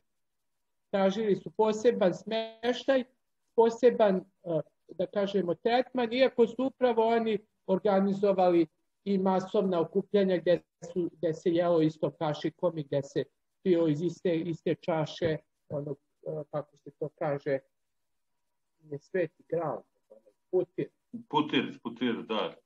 Tako, to je bila cela polemika. Cela polemika je bila u martu i aprilu oko toga da li treba da se vernici pričešćuju iz iste srebrne kašičice i iz istog putira i po njima, pošto srebro štiti od svega... I od vampira, od vampira srebro najviše. Da, da, ona štiti, po njima. Po meni ne štiti, I to se pokazalo time što je korona poubijala veliki broj lekara koji su bili izloženi tom virusu i koji su bili na prvoj liniji borbe sa tom pošašću, a nastradali su i velikodostojnici Srpske pravoslavne crkve i ne samo Srpske pravoslavne crkve, jer ako si slušao onog razmonaha Antonija. I on je umro, tako? Ne, nije, nažalost. Zato što ne, Artemije, Artemije. Ne, Artemije. Umro je Artemije. Antonije, Artemije da, ali Antonije je ovaj monah, raz monah Antonije. je još gori od Artemije. On uporno negira koronu, uporno negira da se ljudi razboljevaju, da umiru, da ostaju invalidi. Bože. Da, da je to plan nekakvog zatvaranja ljudi u kuće, a ne znam kako će privreda da donosi pare tim moćnicima ako su svi zatvoreni u kuće. Mislim, to, ta njihova priča nema nikakvu logiku. Ali, ali, ali, ovo si, dobro si ste sada na njih, njih povesti. Jer Tako je, to isto, sad... to isto, pazi, ovo što sam rekao isto ima veze sa poštovanjem prava i sa krivičnim. Ima velike veze. Mi Tako sad je. ovde pričamo i o, o Berberinu, i o Čikamiki, i o ovom što je gazio ljude, ovom što je zaklao nož. A molim vas, ako, ako čovek uh, javno priča gluposti kojima ubeđuje ljude da u vreme jednog smrtonosnog virusa idu u gomila, da ne nose maske, da dolaze na iste skupove, a on ja ću slobodno reći, nek se publika ljudi. Taj čovek je opasniji od, od ovih što smo ih sad kao najveće monstrume izveli. Pa jeste opasniji zato što... Da tako je. Jednom, dvoje ljudi. A ovo, ovo se širi u onom, da kažemo, eksponencijalnom. Tako je da se širi eksponencijalno, naravno. Ali on ima Taj i neku... Preko, preko, ovaj, da ga pomenemo, tvoj, tvoj poznanik, a ko stvarno svaki dan ono što piše i pravi tamo spaljivanje maski i piše svaki dan neke dugačke tekstove da, da, da. da, da, da ne treba da se poštuju mere, Pa on je, on je možda na duši ima više ljudi nego, nego onaj Đurić iz, što je, što je, što je nesečnu Tijanu što je sredio. I, I uopšte znam da će mnogi da mi zamere, ali hoću ovo da kažem. Ovo Dobro. jeste činjenica. Da, da, to je tačno i s tim se slažem, zato što nehotice ljudi poput uh, ne mogu ni da ga zovem monahom Antonijem jer je izbačen iz Srpske pravoslavne crkve. I to je sad neki njihov a, interni sukob, klerikalni sukob u koji neću da ulazim. Ali ako on tvrdi da taj virus ne pogađa kler drugih religija, onda on svesno obmanjuje svoje pristavice, jer je korona žestoko pogodila i muslimanske klerike koji se nisu pridržavali mera, a da ne govorim o različitim judeističkim grupama i školama judeizma. Namerno neću da ih nazovem sektama, jer to nisu sekte. Oni su deo ortodoksnog judeizma, bilo da su nastali u Palestini ili su nastali u Evropi i ti židovi, hazari, su najviše stradali. Oni su žestoko stradali i u Izraelu i u Americi zato što se nisu pridržavali tih mera. I zato što su mislili da ako idu na na na bogosluženje ako idu u, u, u sinagoge, ako se skupljaju, ako, ako praktikuju judaizam, kao što su ga praktikovali pre pandemije, ništa im se neće desiti. I naravno da im se desilo. Jer su fanatici. Treba razlikovati racionalne vernike od verskih fundamentalista i fanatika koji se bave mađijom, a ne religijom i teologijom kao sistemom. Oni brkaju magijske radnje sa teologijom. Nije dovoljno da se uradi nekoliko magijskih radnji da bi se prošlo bez posledica.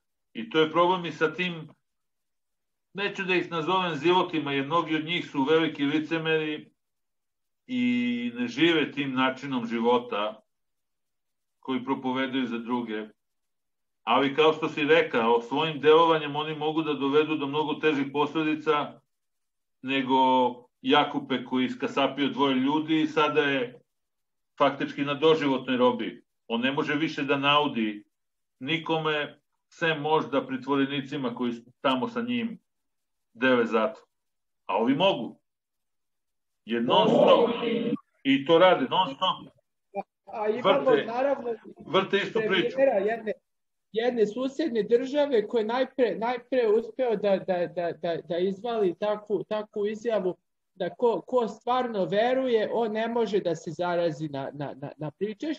E onda posle nedelju ili dve od kad je tu, tu stvar slobodno kažemo lupio, e onda se onaj pop koji njega postavio na vlast, onda se on zarazio i posle određenog vremena preminuo. I onda se pa da. postavlja pitanje, znači, znači da, da po toj logici da, da on nije verovao. Ili naravno da pa su pa da. to budalaštine, naravno da, da, da korona ne, ne razmišlja o tome da, da li ste vernik ili ne. To je vudu tumačenje neke religije. Yes. Nema veze koju dogmu oni svede i da li su pristavice pravoslavlja ili su islamski fundamentalisti ili su judaistički fundamentalisti određene škole judaizma ili su islamski fundamentalisti jedne od četiri glavne sunitske škole ili pak nisu suniti nego su šiti. Reč je o osobama koje veruju u magijske radnje i praksa pokazuje da su da su ti potezi štetni po njih same i po druge vernike. Recimo, konkretno u Jordanu država je od početka marta zabranila službe u džamijama, službe u crkvama, sve je bilo zatvoreno mesecima, pa su im kasnije dozvoljavali da dolaze u manjem broju, da se mole na distanci koja je preporučena od doktora. Ako si gleda one snimke iz Meke i dan danas, znači 2021. u, januaru, nema gužve oko Ćabe, nego je propisana distanca i tako se mole. Mene ne može niko da ubedi da su u Srbiji muslimani i pravoslavci, rimokatolici, veći fundamentalisti nego ovi ovde. I da su veći vernici. I da više e, sprovode verske odredbe nego, nego na Bliskom istoku. To, to je jednostavno netačno. U proseku zna se gde su e, gde je više fundamentalista, gde je konzervativnije društvo i gde se te norme više poštuju. Ali možemo pređemo sada na novi slučaj od onih koji si ti hteo da, da izdvojiš. Yes. Yes.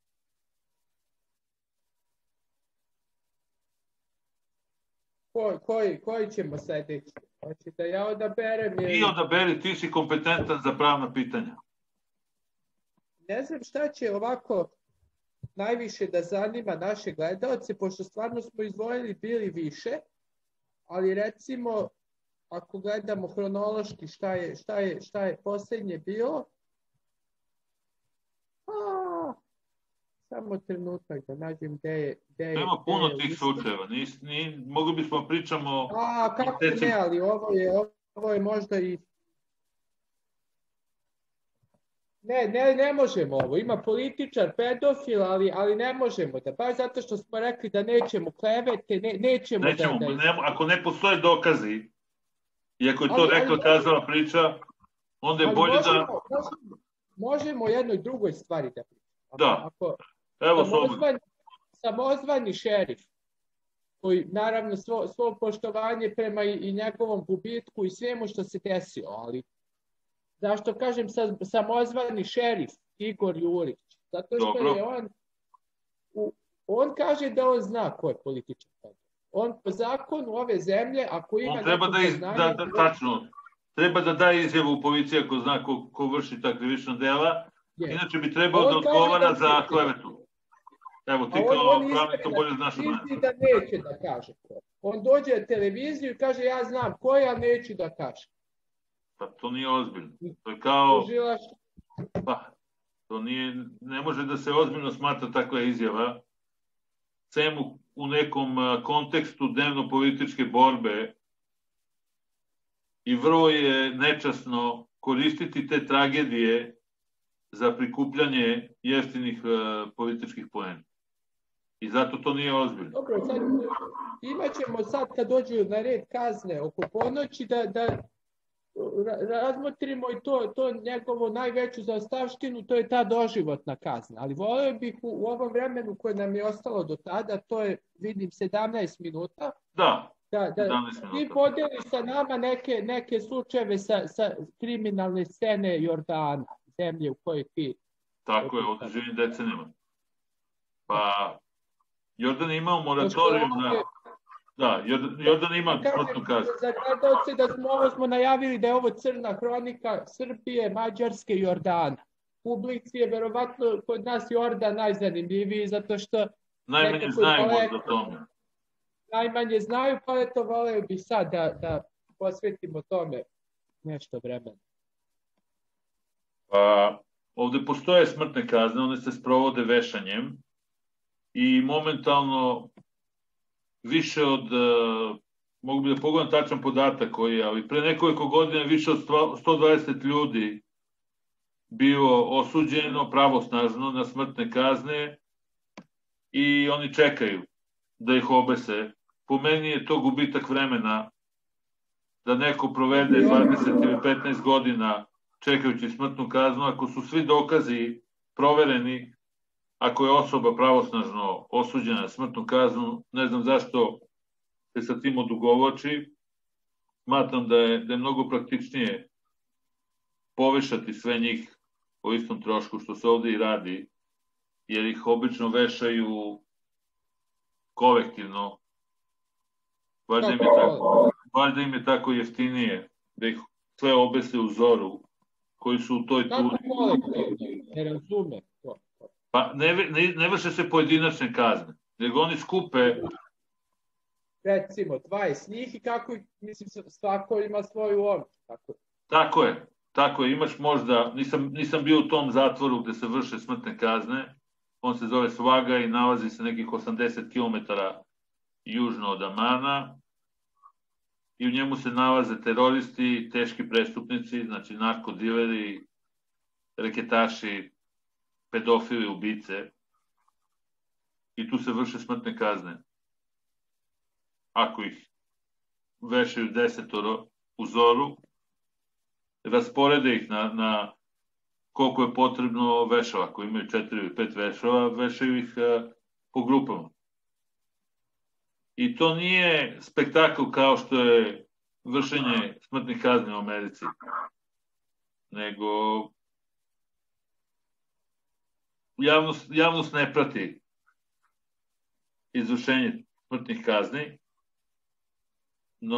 A možda javno zapričuje sa ličnom kartom. Ako bi ti recimo Ne, ne možeš, ne, ne, nije, nije, ne, ne. Možda možeš kao novinar da uđeš tamo ili kao advokat. Obično ide porodica, idu porodice osuđenika i porodice žrtava, ako izraze želju da prisustuju egzekuciji. Međutim, i ovde se pojavljuju nevladine organizacije koje se bore protiv eh, smrtnih kazni, koji se zavažu za ukidanje istih i koji smatraju da, da se time ne čini pravda ako bi došlo do egzekucije pojedinih teških prestupnika. Međutim, pošto nismo još došli do, do ponoći, onda možemo da navedemo neke od tih slučajeva. upravo to sam, to sam Da, skoro je bio slučaj, jesenas je bio slučaj u Zarki, to je drugi po veličini grad, da je grupa muškaraca uhvatila dečaka od 16 godina, otela ga, premlatila i onda su mu iskopali oba oka i isekli e, obe šake. Zašto? Zato što je otac tog momka ubio čoveka iz e, tog klana, iz te porodice, pa su se onda osvetili njegovom sinu tako što su ga sačekali da ode u prodavnicu i Znači, samo, samo da razjasnimo gledalcima, samo da razjasnimo, znači radi se o, o, o- motivu krvne osvete. Znači, Da, to je motiv krvne osvete. Taj mali, taj mladić njima ništa nije naučio. Nije ništa on uradio. On, on je platio za svog oca. To je najniži mogući po, po Tako je. To je najniža pop. Da, naravno. Mi smo crkvenu osvetu imali... Mi smo krvne osvete imali u 19. veku. U nekim delovima Balkana one i danas postoje. Međutim, svi vladari u našoj istoriji su se trudili da iskorene taj pogani običaj, jer je krvna osveta znak nepostojanja institucija ili je znak nepoverenja u institucije, nepoverenja u sistem. Ona je pre svega odsustvo razuma, odsustvo racija, zato što da, kažnjavamo da, jedno lice za nešto što je njegov rođak ili predak Tako je. uradio. Koji nema veze znači, sa ona prethod, prethodi svešću o individualnosti ličnosti. Tako Tačno. da pri... Ranije kazne za, za krvne osvete a pogotovo kazne koje su pogađale ženske članove porodice. Gde bi se ubijala sestra, majka, žena, zbog pravih ili izmišljenih prestupa, nisu bile toliko kažnjavane. Ljudi bi izvršili ubistvo i... Pa da nekim davno vremenima... Da, oni bi izašli posle par meseci, malo te ne bi ih dočekali kao heroje. Međutim, to se promenilo zadnjih godina. I sada se za ta dela veži na doživotnim robijama, a neki dobili smrtne kazne. Tako da te stvari pomeraju nabolje i smatram da se taj tribalizam može suzbiti oštrim kaznama i zbog toga podržavam što oštrije mere prema toj vrsti prestupa. I ne samo... Kako, kako napreduje proces u ovom konkretnom slučaju? Pa mediji su prestali da informišu o tom slučaju. Otac je video sina koga su nakazili, pošto on isto leži na dugogodišnjoj robi zbog ubistva. Međutim, e, još se ne zna tačno kako će biti kazna. Mogu tačno i da proverim sada dok je to stigo. Zanimalo bi. Da, evo mogu bi da, da, da to pomenem. Sačekat ćemo. E. Pre svega, ti sukobi su vezani za, za lokalne bande koje se bave reketiranjem i preprodajom narkotika. Kogod misli da u ovom delu sveta nema narkomanije, da nema prostitucije, da nema reketiranja, taj očigledno ne zna dovoljno i misli da ako je neko društvo konzervativno, da u njemu nema tih uh, krivičnih dela. To samo pokazuje uh, univerzalnost ljudske izopačenosti. Ljudi mogu da budu veoma izopačeni u sekularnim društvima, u društvima gde dominiraju fundamentalisti, u društvima gde su seksualni predatori drugosrbijanci kao Jeftić ili Arkanovci kao Čikamika, a oboje su u svakom slučaju, nećemo kažemo za Čikamiku da je da je silovao, jer nemamo dokaza, ali se iz onog snimka vidi da je čovek poremećen, da ima neki problem i da se izživljava na decu. To što je on tobože nekakav pravoslavac ili što iščevići ne menja ništa na devijantnost. Naprotiv, puno je devijanata među fundamentalistima. Mislim da smo to već pomenuli, pa neću da zamaram gledalce. Međutim, što se ovog konkretnog slučaja tiče, on je naravno uzbudio javnost i neko će kaže šokirao, nije ih šokirao, nego se oni pretvaraju da je to nešto što, što njima strano. Međutim, činjenica da je kriminal u porastu i u ovom društvu i zbog toga se mogu očekivati teške kazne za njih. Jer... Da može da se očekuje kazna smrt? To ne znam, mada može da se desi. Da, po, po zakonu, ono što sam pričao sa ljudima jeste da po zakonu oni ne mogu da dobiju smrtnu kaznu za, za unakaživa, unakazivanje tog dečka. Da su ga ubili, oni bi dobili smrtne kazne. I oni su znali zakon i namerno su ga načinili invalidom da ne bi dobili smrtnu kaznu. Znači, dobit će vremenske kazne, pa će izaći sa robije i moći će da se bave ucenjivanjem i reketom. Jer je po nekim medijima otac odbio da plati reket i zbog toga je ubio tog kriminalca, a opet to pokazuje koliko je zakon e, feleričan, da on leži za ubistvo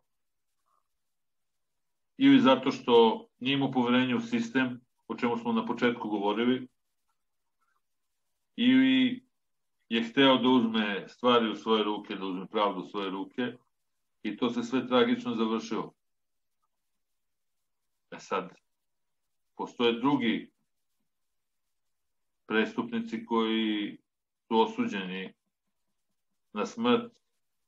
Skoro sam pratio u medijima slučaj dvojice žitelja Tafile, to je jedno mesto na jugu, pre Petre, koji su namamili svog rođaka od 70 i nešto godina, za koga se znao da ima biznise i da nosi pare sa sobom, i oni su ga ubili za nekih 500 evra. Imao je kod sebe 500 evra, oni su ga likvidirali na pustom mestu, pacili ga, ali nisu našli po telu, nego po tom lešu, nego su ih našli po kamerama. Tako da podržavam postavljanje kamera po gradovima i po manjim mestima, jer puno puta kamere mogu da reše tu vrstu zločina. Kod god misli da su kamere postavljene da bi Bill Gates i Soros znali šta kupuju na pijaci i da li idu dovoljno u crku, kao što misli ovaj naš poznanik politikova, koji je jedna vrlo smešna pojava i ne moram da mu dajem nikakav publicitet, jer takvih bizarnih klikova ima svuda. Taj je u krivu. Kamera služi... E, da. Evo čujemo nekog. Neko se uključio u, u naš razgovor. Uglavnom, takvih bizarnih likova ima svuda, a kamere služe upravo za rešavanje takvih uh, slučajeva uličnog kriminala. Oni ih nikad ne bi našli da kamera nije snimila automobil u kome je zadnji put sviđen taj čovjek, koji je pripadao jednom od njih. Zločin se desio u oktobru, mislim 27. oktobra prošle godine, i njih dvojica, od kojih je jedan vojnovice i suđeno mu je u vojnom sudu, su dobili direktne smrtne kazne i očekujem da će ih obesiti u narednom periodu. Znači, odmah je sve presuđeno. I kao kod nas, gde sude ljudima po 15 godina za imovinske sporove ili za kriminal, nego su dobili smrtne kazne za manje od 3 e, meseca.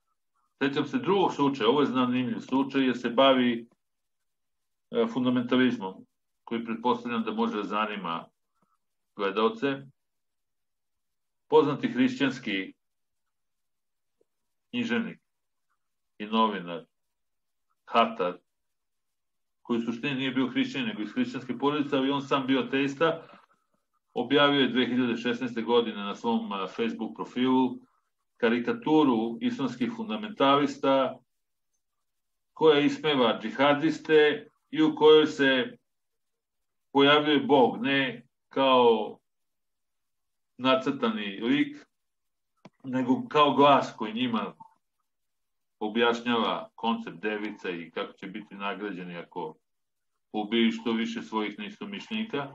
I on je to podevio na svom profilu. Znači, to nije bila njegova karikatura. Država ga je osudila, odnosno osudila mu je zbog blasfemije i naravno kada se to pročuo, našao se učitelj islamski fundamentalista koji ga je sačekao ispred e, suda gde je išao na jedno od tih ročišta i upucao pred njegovim rođacima. 2016. u septembru. Rođaci koji su bili sa njim su uhvatili počinioca. Njemu je brzo suđeno i obešen je u martu 2017. godine sa grupom terorista, jer je u to vreme bilo par terorističkih akcija u zemlji. To je primer kako se brzo donose presude i kako se brzo vešaju prestupnici, pogotovo ako je slučaj politički motivisan, pogotovo ako, je, ako su u pitanju teroristi. Neko ko je silovo i ubio devojčicu i dečka, može da čeka par godina na smrtnu kaznu zato što je Evropska unija vrši pritisak na Jordan i ucenjuje ih parama koje daje da za uzrat e, drže moratorijum na smrtne kazne. Međutim, u pojedinim situacijama taj moratorijum se prekida. I on je pogotovo prekinut e, nakon što je 2014. godine u septembru Jordan ušao u direktan rat sa islamskom državom. Tako da momentalno ne znam tačan broj ljudi koji su osuđeni pravosnažno i koji čekaju smrtne kazne, ali, se, ali mogu da se setim da je pre jedno 4-5 godina taj broj bio oko 120 i sad je sigurno više. Eto, to je otprilike laičko viđenje a, tih a, presuda i, i, i sudske prakse.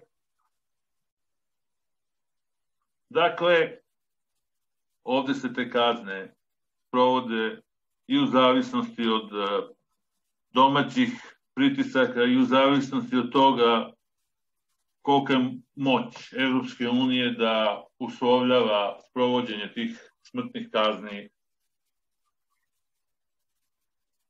i koliko su oni moćni da ih preinače u doživotne robije. Evo, me bi zanimalo pitanje smrtnih kazni i uopšte taj, ta moralna dilema iz usta jednog pravnika poput tebe. Jer ono što bih ja tu rekao nema istu težinu, jer neko ko je studirao prava sigurno ima bolji uvid od lajka, a sa druge strane i lajci imaju pravo da artikulišu svoje ideje, pogotovo što su glasači na različitim izborima. Kida tehničkog, pa bih te zamolio da po, ponoviš pitanje. Da, evo, ponovit ću pitanje. To je standardno sa tvojim vezama od kako si u Budimpešti. Znam. Šta je tvoj? I ja znam da te Orban seče. Uglavnom, lajci i pravnici nemaju istu moć rasuđivanja po pitanju pravne nauke. Pravnici kao kvalifikovana lica koja decenijama proučavaju zakone treba da imaju zadnju reč. Dok lajci mogu da artikulišu svoje stavove posebno zbog toga što su potencijalni birači i što svojim plaćanjem poreza i, i radom doprinose društvima u kojima žive. Kako ti kao pravnik gledaš na tu dilemu, moralnu dilemu između smrtne kazne i doživotne robije, na primjer? Ja, ja moram prvo da kažem da kao neko ko stvarno veruje u neku svetost i nepovredivo života u svim slučajevima, pogotovo i kod eutanazije. Isto mogu da kažem i oko smrtne kazne. Da smatram je za, za jedan krajnje barbarski čin koji, ajde da kažemo ne nikad, ali gotovo nikad nije opravdan. On bi možda jedino mogao biti opravdan u jednoj situaciji kada država još i nije formirana i nije njen opstanak osiguran. Kao recimo, uzeo bih taj primer veliki teror u Francuskoj, koji je prosto bio neophodan da se uradi, ne u cilju kažnjavanja. Nije, nije kralj bio giljotiniran i njegovi sledbenici prvenstveno da bi bili kažnjeni, nego zato što su oni bili u otvorenom ratu sa narodom o, o, i bila invazija stranih stila i prosto morao je da se utera strah u kosti da bi, da bi narod uopšte opstao, jer je toliko bio neprijatelja izdajnika. Međutim, u, u jedno redovno vreme, kada, kada nije, da kažemo, opšti opstanak u, u znaku pitanja, u, u, u situaciji u kojoj društvo prosto tog zločinca može da izoluje. Da. Znam, znam šta hoćeš da kažeš, iako te opet Orban prekinuo. Smatraš da radikalna situacija zahteva radikalne metode delovanja. I da u jednoj revoluciji, dok vlast nije do kraja formirana, dok institucije nisu ustovičene, teror mora da se obračunava. Da zatvori, da, da ga razoruža, da ga... Da. U toj situaciji dokle, dokle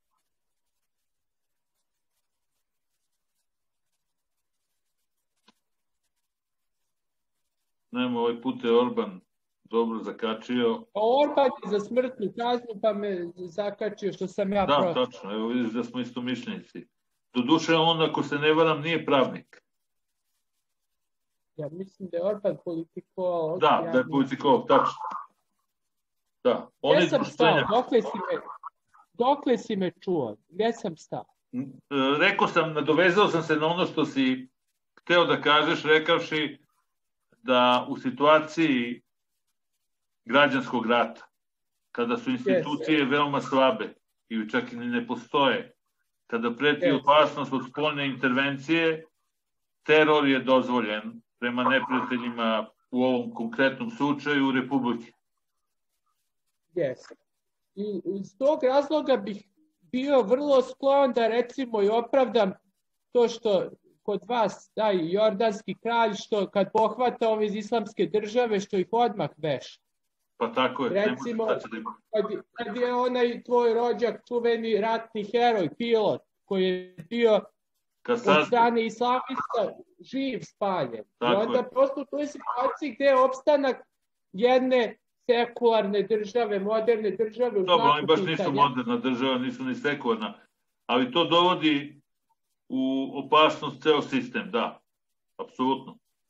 Tako da u, u tom nekom slučaju mogu da razumem, ali za neka mirodopska dela, mi sad recimo zamislimo nekog najvećeg zločinca, evo danas smo ih nabrojali, ne moramo sad da im dajemo opet publicitet. Taj čovek, znači, uhvaćen je, on je u lisicama, u zatvoru, cijelo društvo ga prezire, on više ne podstavlja nikakvu opasnost. Od momenta kad je, znači, i, i, i, i dalje, kad bismo ga ubili, to je, to je prekomerna sila. A prekomerna sila nije, nije dostojna čoveka i čovečnosti. Jer a, društvo ima prava na onu količinu sile koja mu je potrebna da se odbrani. Od onih koji ugrožavaju tuđa prava, slobode, tuđi život. I mi ako smo tu osobu zatvorili u jednu ćeliju 3 sa 3, vezali je, skinuli, uzeli mu oružje, uzeli mu nož, on više nije, nije opasnost. I sami time Da, ti nasilje da oni nisu opasnost kad nije, su nije opravdano. Ono, po- Tu se ne bih složio sa tom. mislim da recimo eto, jedan Berberin ili jedan na, na koji način? Misliš na Jakupeka i na Berberina? Pa oni su opasnosti u samom zatvoru. I moraš da plaćaš čuvare da, da vode računa o tome šta oni rade unutra, da li se povređuju, da li napadaju druge osuđenike, da li zajedno napadaju čuvare u zatvoru. da li ako izađu za, za par decenija ili za 15 godina neće ponoviti isto deo. Jer je bio slučaj jednog e, Roma koji je početkom 90-ih izvršio ubistvo sa silovanjem. Znači, silovao i ubio i posle je ponovio to deo nakon 15-godišnje robije. Da su ga obesili, ova druga žrtva e, ne bi stradala. Tako da, da je moje mišljenje kao lajka, koji nije ni pravnik, niti je upućen u tu materiju, da treba maksimalno smanjiti vremenske kazne, da osuđenici koji mogu da se resocijalizuju, mogu to da urade u nekom rasponu od 5 do 10 godina, da treba ukinuti doživotne robije i kazne od više od 10 godina, a ako su ta dela za, za doživotnu robiju ili za, za 20 ili 40 godina, da je bolje da se ti prestupnici obese po kratkom postupku. Na taj način se društvo čuva od tih devijanata. I čuva se i od e, političkih prestupnika koji mogu da budu veleizdajnici, na primjer. I koji mogu da prave velike štete. Zašto misliš? Naravno, ja, ja se neću složiti, mogu pa naravno, posle da elaboriram da. zašto, ali pitao bih te na ovom mestu zašto, zašto baš eto, ta metoda vešanja? Da li Pa dobro, ne mora vešanje. Pre neko... Vešanje je relativno... Metodu, tako, da. Ti možeš da ubiješ njih i injekcijom. Ja sam protiv toga da se ljudi mrcvare, da se muče. Oni mogu da se ubijaju injekcijom, ako se ne varam, kavijuma koji zaustavlja srce. A mogu i da se obese. Vešanje i nije takva teška smrt kao neke druge. Doduše nisam se bavio preterano tom problematikom i to je opet a, tema koja je vezana za lekara, ne za istoričar. Neko ko je lekar, on će bolje da odgovori na ta pitanja. Da bi predstavljao najhumaniji način da se neko likvidira. Ali jesam za njihovu likvidaciju. Da. Jordanu, da li u svim slučajevima koje, koje zakon predviđa je isključivo vešanje ili, da, ili vešanje, zakon vešanje. eventualno zakon ne, zatim ne poznaje one šerijatske kazne ne, kao ne, to se ne. Nije, nije kao u Saudijskoj Arabiji, ne. Oni, oni ih uh, ne oni, im, uh, oni ne vrše dekapitaciju osuđenika. Nema dekapitacije, nego se vešaju, što je mnogo humaniji način. I vešaju ih sa dugačkim užetom, ne sa kratkim kao u Austro-Ugrskoj, o čemu smo pričali. Kratki, kratko uže je jako nezgodno, čovek yes. dugo ostane da, da misli. Tako je. Vešaju ih kao što su obesili, vešaju ih kao što su obesili Sadama Huseina u Iraku 2006. za novu godinu. Za novu 2007. ako se sećaš te egzekucije. Sećam se da je obešen Husein, nama je bilo žao. Pa I meni je bilo žao, ali hoću ti kažem da, da je tu posredi dugačak, dugačko uže i osuđenik propada sa te platforme, tako da muže lomi kičmu, lomi mu vrat momentalno. Ali to je odmah. Znači. Da, da, to je, to je trenutna smrt. Nekoliko, nekoliko sekundi, ako u najgorem slučaju nekoliko sekundi, a u najčešćem slučaju to je smrt koja ne treni sekundu. Ali znači ti, ti pre svega stavljaš akcent na te čisto neke materialističke razloge, da je prosto praktičnije da, da im oduzme život. I iz bezbedno, bezbednostnih razloga. Znači oni ne mogu više da ponove to deo. Čak i da hoće, više ne mogu da, da ga izvrše ni za 50 godina, ni za 40 godina kada izađu na slobodu. Ne moraš da misliš šta rade u zatvorima, da li planiraju bekstva, da, jer neko ko je osuđen na doživotnu robiju, on može da planira nove zločine. Neko ko... Ako možeš da pobiješ, da pobiješ sve ljude na svetu i onda niko neće da napravi nijedan Pa ne sve, ne, naravno. Ti sad banalizuješ to, karikiraš. Govorimo osobama koje su psihopate poput uh, tog momka iz uh, Banovaca koji je na pravdi Boga ubio i istanžirao dete od uh, valjda četiri godine. Po meni, velike je šteta da takav da takva takvo biće, ne mogu ga nazovem osobom, ne mogu ga nazovem čovekom, velika je šteta da takvo biće živi narednih 40 ili 50 godina, ako ga zdravlje posluži, možda će živjeti i 50 godina. A možda ga i puste umeđu vremenu. Jer je on proglašen... Da, kaže. Ne veruješ da svako može da se popravi? Ko takav? Ti možeš, misliš, veruješ da on može da se popravi? On ne može, ali on je, on je neuračunljiv.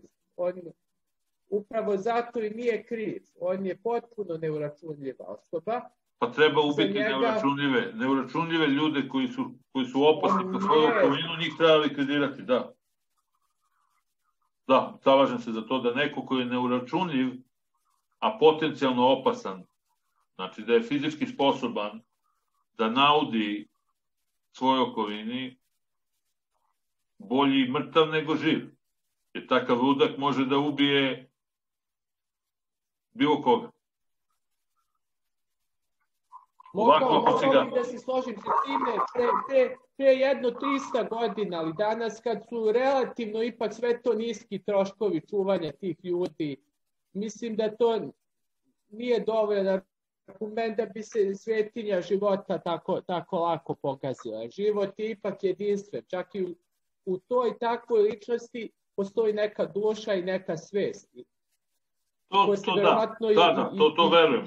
Naravno, naravno da postoji duša i među i u takvoj osobi. Verujem da, da život, životinje isto imaju dušu. To je moje neko mišljenje. I, i, one, I one to demonstriraju u odnosima, u odnosima između između jedne, sa, jedne sa drugom i isto tako demonstriraju u odnosima sa, sa ljudima. Ali je moj glavni argument da, da su ta lica potencijalno opasna za, za svoju okolinu i za druge osobe. To je sve što sam mislio da kažem o tome. Ti naravno kao neko ko je pravnik imaš bolji uvid I... Nije to pitanje prava toliko, to je, to je da. čisto moralno pitanje. Pravo, moralno pitanje, pa pravo pa moral... kao nauka nema, nema stav pravo Aha. kao nauka o, o tome. Pravo samo konstatuje ono što su zakoni u jednoj državi. Ne, sa moralne tačke gledišta, s etičke tačke gledišta smatram da nije nemoralno da se ta vica liše života. Jer kao što su oni mogli da liše života dete od četiri godine, iz ko zna kog ludačkog razloga, tako je pravedno i, i da se oni likvidiraju i da ne predstavljaju potencijalnu opasnost ni za koga. Tako je, verujem... Ali zar, zar nije upravo u tome da. da nije upravo to ono što hoćemo da izbegnemo, da, da, da mi kao država, kao narod, suvereno telo, jedne Dobro. države, nećemo da se izjednačimo sa, sa jednom takvom ličnošću. Da sad kažemo, eto, pošto je on ubio nekoga, sad ćemo i mi da ubijemo njega. Mislim da upravo to, to ne želimo da se, da se moralno spuštamo na taj nivo i da kažemo, eto, ako je, ako je on to učinio, a i mi, mi ćemo. To je zanimljivo da... mišljenje. Da, poštujem tvoje, tvoj stav i mogu do nekoj da se složim. Mogu do nekoj da se složim sa tim. Ali kao što sam rekao, smatram da je iz praktičnih razloga mnogo bolje eliminisati elemente u društvu koji su fizički opasni po druge građane. I time se šalje isto jasna poruka svim potencijalnim zločincima da njihovi prestupi neće biti tolerisani, da neće moći da sede o trošku države, treniraju, čitaju knjige, pišu knjige, nego da će biti likvidirani po kratkom postupku. To bismo mi njih državi u životu i Dobro, ti hoćeš da kažeš da je to mo, sa moralne tačke gledišta. Ako je reč, ako je reč recimo tom Jakupeku, ti kažeš da se da, da se da ovaj njima poruka. A takvom čoveku i po mišljenju veštaka nikakva nije mogla da se ne, da njemu poruka. ne možeš, da, da. Da, on je izgubljen slučaj. Nije on svojom voljom odabrao da to učini. Mislim, to je, to je mišljenje struke, kao i onog iz Jabuke koji je video veštice i, i vile i demone, pa je počeo da ih, da ih ubija.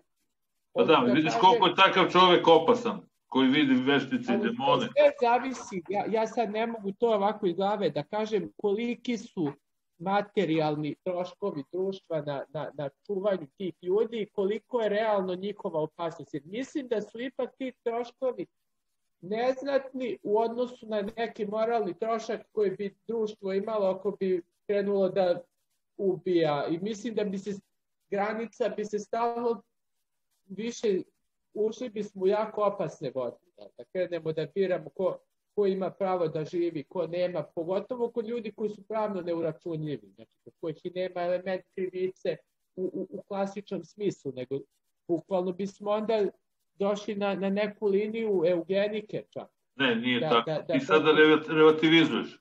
Eugenika je jedna stvar, a neko ko je počinio dvostruko ubistvo, očigledno sa predumišljenjem i iskasapio svoje žrtve, je opasan po svoju okolinu. Neko ko je mentalno zaostao ili je na bilo koji način ometen fizički ili, ili psihički, ne mora uvek da predstavlja opasnost. Mi govorimo ovde o osobama koji su već izvršili izvršile teška krivična dela, a ne o nekome ko je retardiran, ne ide u školu i nije postao profesor na Harvardu. Ali i, a, ako ti je argument čisto što je skupo njihovo izdržavanje, pa i skupo ti je i, i ovo ko je retardiran da ga izdržavaš, ali Prosto da, ali ovi nisu opasni po okolinu. Govorim ti o bezbednosti. Bezbednost je bitna. I ovaj nije, ako, ako mislim, ne trebaju ti sad roboti od milion dolara da ga čuvaju. Mislim, može onda se negde da se zaključa, izdvoji se od drugih. Postoje, nisu to u današnjem smislu, to su minimalni troškovi. Čak mogu da kažem i da time dajemo posao čuvarima, koji bi inače bili na birovu ili bi tamo neke u, u pelenama bi uvijali kablove u, u juri za, za, za, za 150 evra mesečno. A svi pričaju o toj juri, kažem, dobro. Hoće kažem, na kraju krajeva, tako gledali, dajemo posao čuvarima. Dajemo posao graditeljima da grade te zatvore. Zatvor može da bude samo, samo održiva ustanova. Gledao sam jednu emisiju u Srbiji, mislim da je u Sremu bio zatvor u pitanju, gde bukvalno taj upravnik zatvora pokazuje kao, kao uspešan menadžer šta sve oni proizvodi. Zatvor taj je apsolutno samo održiv. On se od proizvoda koje oni naprave u poljoprivredi, onda prave med, prave krompir, hoću da kažem, prave nameštaj, dosta Moguće. proizvoda. Tako da... Pre svega ja smatram da ljudi koji imaju te probleme nisu bili ni zaštani na slobodi i nisu ni zašto ni unutra i da je najjednostavnije a na neki način i pravedno skratiti ih za glavu. I na taj način se pažnja društva i pažnja sistema usmerava na mnogo korisnije pojedince i, i vrednije e, teme od toga šta će ti kreteni da rade tokom doživotne robije. Moj je stav da vremenske kazne nemaju svrhu ako ne služe resocijalizaciji. Ukoliko te osobe nisu zaista promenjene i unapređene kao ličnosti, onda je besmisleno rizikovati da nakon izlaska sa robije počine ista dela. Pričali smo o silovateljima, pričali smo o pedofilima i to je nešto što što se ne menja vremenom. Ti ljudi imaju poremećaj zbog čega čine ta dela. Bar tako kaže medicina. Ja samo mislim da postoji način da ih, da ih držimo, da budemo zaštićeni od njih bez, bez da mi postajemo ubice kao, kao država i, da, i dobro. Dobro, ti imaš da taj humanistički pogled. Rekli smo ja i ti argumente, pa, pa neka publika presudi, poštujemo ja tvoje argumente i nadam se ti moje. Predložio bih sad za kraj ovu drugu kaznu koju, koja je mnogo aktuelnija u Srbiji danas, da, da prokomentarišemo, to je doživotna kazna. Ona je doneta na inicijativu Igora Jurića, rekordan broj ljudi je potpisao i zaista u vrlo brzom roku ta sankcija je usvojena. Naravno, došle su kritike iz Evropske unije koja je rekla da doživotna kazna, pogotovo ako je bez mogućnosti uslovnog otpusta, kao što ona sada jeste u Republici Srbije da. po tim novim izmenama, da krši ljudska prava. I u istinu sud u Strasburu je u jednom ranijem slučaju protiv Velike Britanije zaista utvrdio da svaki zločinac treba da ima pravo na nadu da će biti oslobođen. Opet, i sa ovim novim zakonskim rešenjem u Srbiji postoji to pravo kroz, kroz opet tu funkciju, kroz eh, amnestiju i pomilovanje. Znači, hipotetički, sad naravno, naravno da bi to bilo suludo, ali hipotetički bi predsednik mogao sutra da oslobodi recimo Malčas Berberina i da ga pusti da izađe na, na, na, ulicu. Tako je, i onog, da... i onog mesara iz uh, Zemuna što je ubio Jurićevu. Jeste, Čisto hoću da kažem da, znači, čak i u slučaju doživotne kazne, oni imaju hipotetičku mogućnost izlaska. Da. Po mišljenju Evropskog suda to nije dovoljno, zato što su to, da kažemo, vanredne mere, koje dovoljnosi politički organ, kao što je predsednik, već po Evropskom sudu bi trebalo da postoji redovni uslovni otpust, gde sud posle 25 godina, recimo, kaže, evo, ovaj čovek se popravio, kao što je, recimo, u Haškom sudu tamo svi oni koji su dobili, oni u praksi, recimo Karadžić, Mladić da. i drugi, po pravilima Haškog suda bi izašli posle 25 godina, iako se to zove doživljaj. Znači oni ako požive, ako, ako Bog da te, te godine, oni će da budu oslobođeni posle, posle tog vremena. Recimo ovo sad naše rešenje u Srbiji, recimo za tog Berberina bi bilo da on nikad ne može da izađe, osim ako bi predsednik posebno. Da, da, da. Da li smatraš da, da treba davati predsedniku mogućnost da amnestira tu vrstu prestupnika?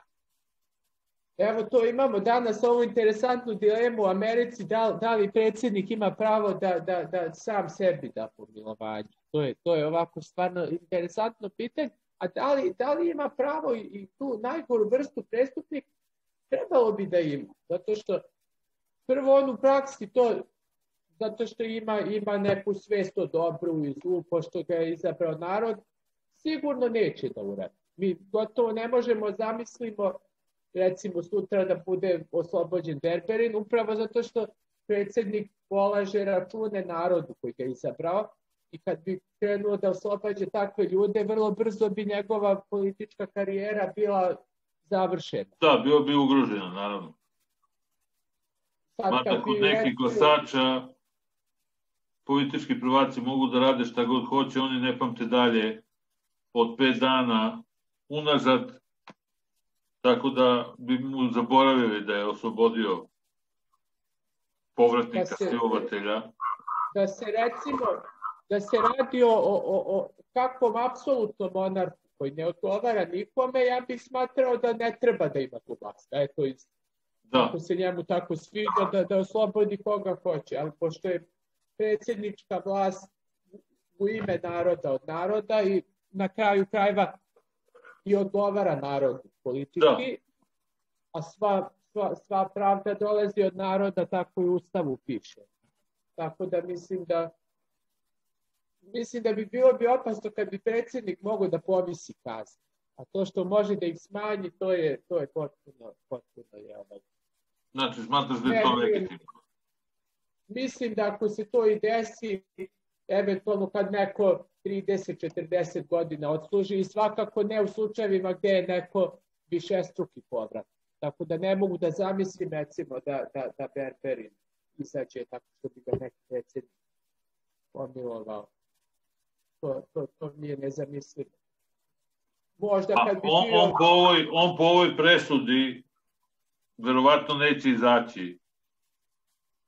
Možemo da zamislimo recimo neku hipotetičku situaciju gdje bi on sa 100 godina bio nepokretan starac u kolicima koji fizički ne može nikome da naudi. U tom slučaju ne bi ni bilo problema da posle 50 godina u zatvoru ili koliko da, da izađe da proživi možda godinu ili dve napolju. Mislim da bi to spadalo u neku univerzalnu... Naučnu fantastiku. Pa to, ali ako pa, ako ne bi bio opasan, to bi, mislim da bi javnost mogla to da opravi. Ali 99% mislim da taj čovjek neće, neće vidjeti belog dana. Napolje. Daj Bože. Zato što su već pravljene greške kada je on puštan nakon uh, tih devikata da ponavlja isto. To, to je stvarno, mislim, taj sud koji je, koji njega još uslovno pustio pre, jer on je dobio 15 godina, pa mu je sud posle 12 godina se on izvinio, rekao je mnogo mi je krivo i oni su rekli ajde dosta ti je posle 12, možeš na uslovni otpust i on je odmah, ne znam, nedelju, dve, ne, to, to je, to je ne, ne, nepopravljiv čovjek. Pa da su ga obesili nakon prvog dela, onda ne bi morao da ih pita ništa. To je ono čemu ti ja pričam.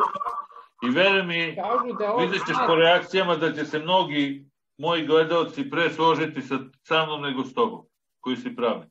Pa dobro, pošto je, pošto je tvoj kanal, to, to očekujemo da, da bude tako, a opet i za mene stoji... Ne što je moj kanal, nego, nego ja govorim u ime naroda. Sa mnom se slaže, sa mnom se slaže Ursula von Leyen i, i ovaj Evropska komisija i Evropski sud pravde. Dobro, oni jesu veći pravni autoriteti od mene i mojih gledalaca, ali ne znači da u nekoj u nekom spletu okolnosti naravno, ne znači da u nekom e, spletu okolnosti mi ne bi imali prevagu. Pa bi oni u Mađarskoj da većina naroda je za, za smrtnu kaznu. Ovde, ovde u Mađarskoj preko pola, a i u Srbiji preko pola naroda je za smrt. Pa da. I Srbija i Mađarska su pre svega pod uticajem od spolja ukinula te kazne, a ne da kažemo nekom voljom većine svojih strana. Mislim, da. jeste voljom, ali da bi dobili koristi sa strane, a ne, ne, ne zato što su smatrali da je to ispravno. Evo, za kraj bih te pitao, kakva je situacija sa tim teškim krivičnim delima u Mađarskoj? U, bilo je, bilo je jako teško. Pa imali su Marinka, ma, imali su Marinka Magdu i njegovu grupu 90. godina. Yes. On je išao na konju, on je nekoga je ubio, da. pa je onda zajahao konja i išao je po... Po Subotici išao tako, kao ludak, da.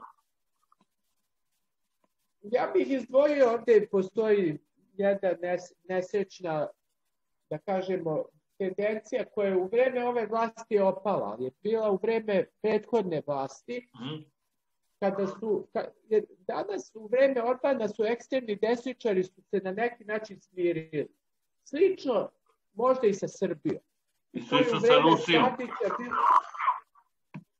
Gde je u vreme Tadića bilo mnogo više tih nekih ekstremno desničarskih grupa kao obraz, nacionalni stroj i tome slično nego što danas toga. Danas imamo ipak u nekoj meri manje. Hoću da kažem, u Mađarskoj desila su se jedna ludačka serija ubistava Roma. To nekoliko ljudi, dva brata, su gotovo godinu dana u različitim slučajevima na najbrutalniji način uzimali ljudske živote samo zato što se radilo o Romi. Znači nije, nisu to bili neki konkretni Romi sa kojima su oni imali neke nesuglasice, nego recimo jedan dan uđu u neku ono romsko naselje i za sve zapalo. Tu naravno, pošto ljudi neki spavali, tu su izgorela i deca i sve. Drugi put su ušli sa automatskim naoružanjem, opet u, u neku dugo romsku, samo skrenuli da pucaju. I dosta dugo nije, nisu mogli da ih uhvate, što mi je potpuno nejasno kako. Međutim, na kraju, na kraju sva seča mađarska država im je doakala i dobili su doživotnu kaznu i danas služe tu kaznu. Tako da je pravda zadovoljena na kraju. Mislim da bismo ovde mogli da završimo današnju diskusiju. Pa isto. Da. Gotovo smo ušli, ušli smo u noć. Dobro, ovo su ozbiljne Ubar teme. nas je Da, ovo su ozbiljne teme i drago mi je što si izdvojio vreme da kao pravnik kažeš nešto o toj problematici. Mi ćemo biti u kontaktu. Epi, hvala na pozivu. Uvek si dobrodošao. Jer pre svega ti si kompetentan sagovornik, a istovremeno si veoma pristojan čovek sa kojim je zadovoljstvo ne slagati se. To je, to je, je redkost u ovo vreme. Puno pozdrava Jeste, jeste. i svako dobro. Takođe. Takođe.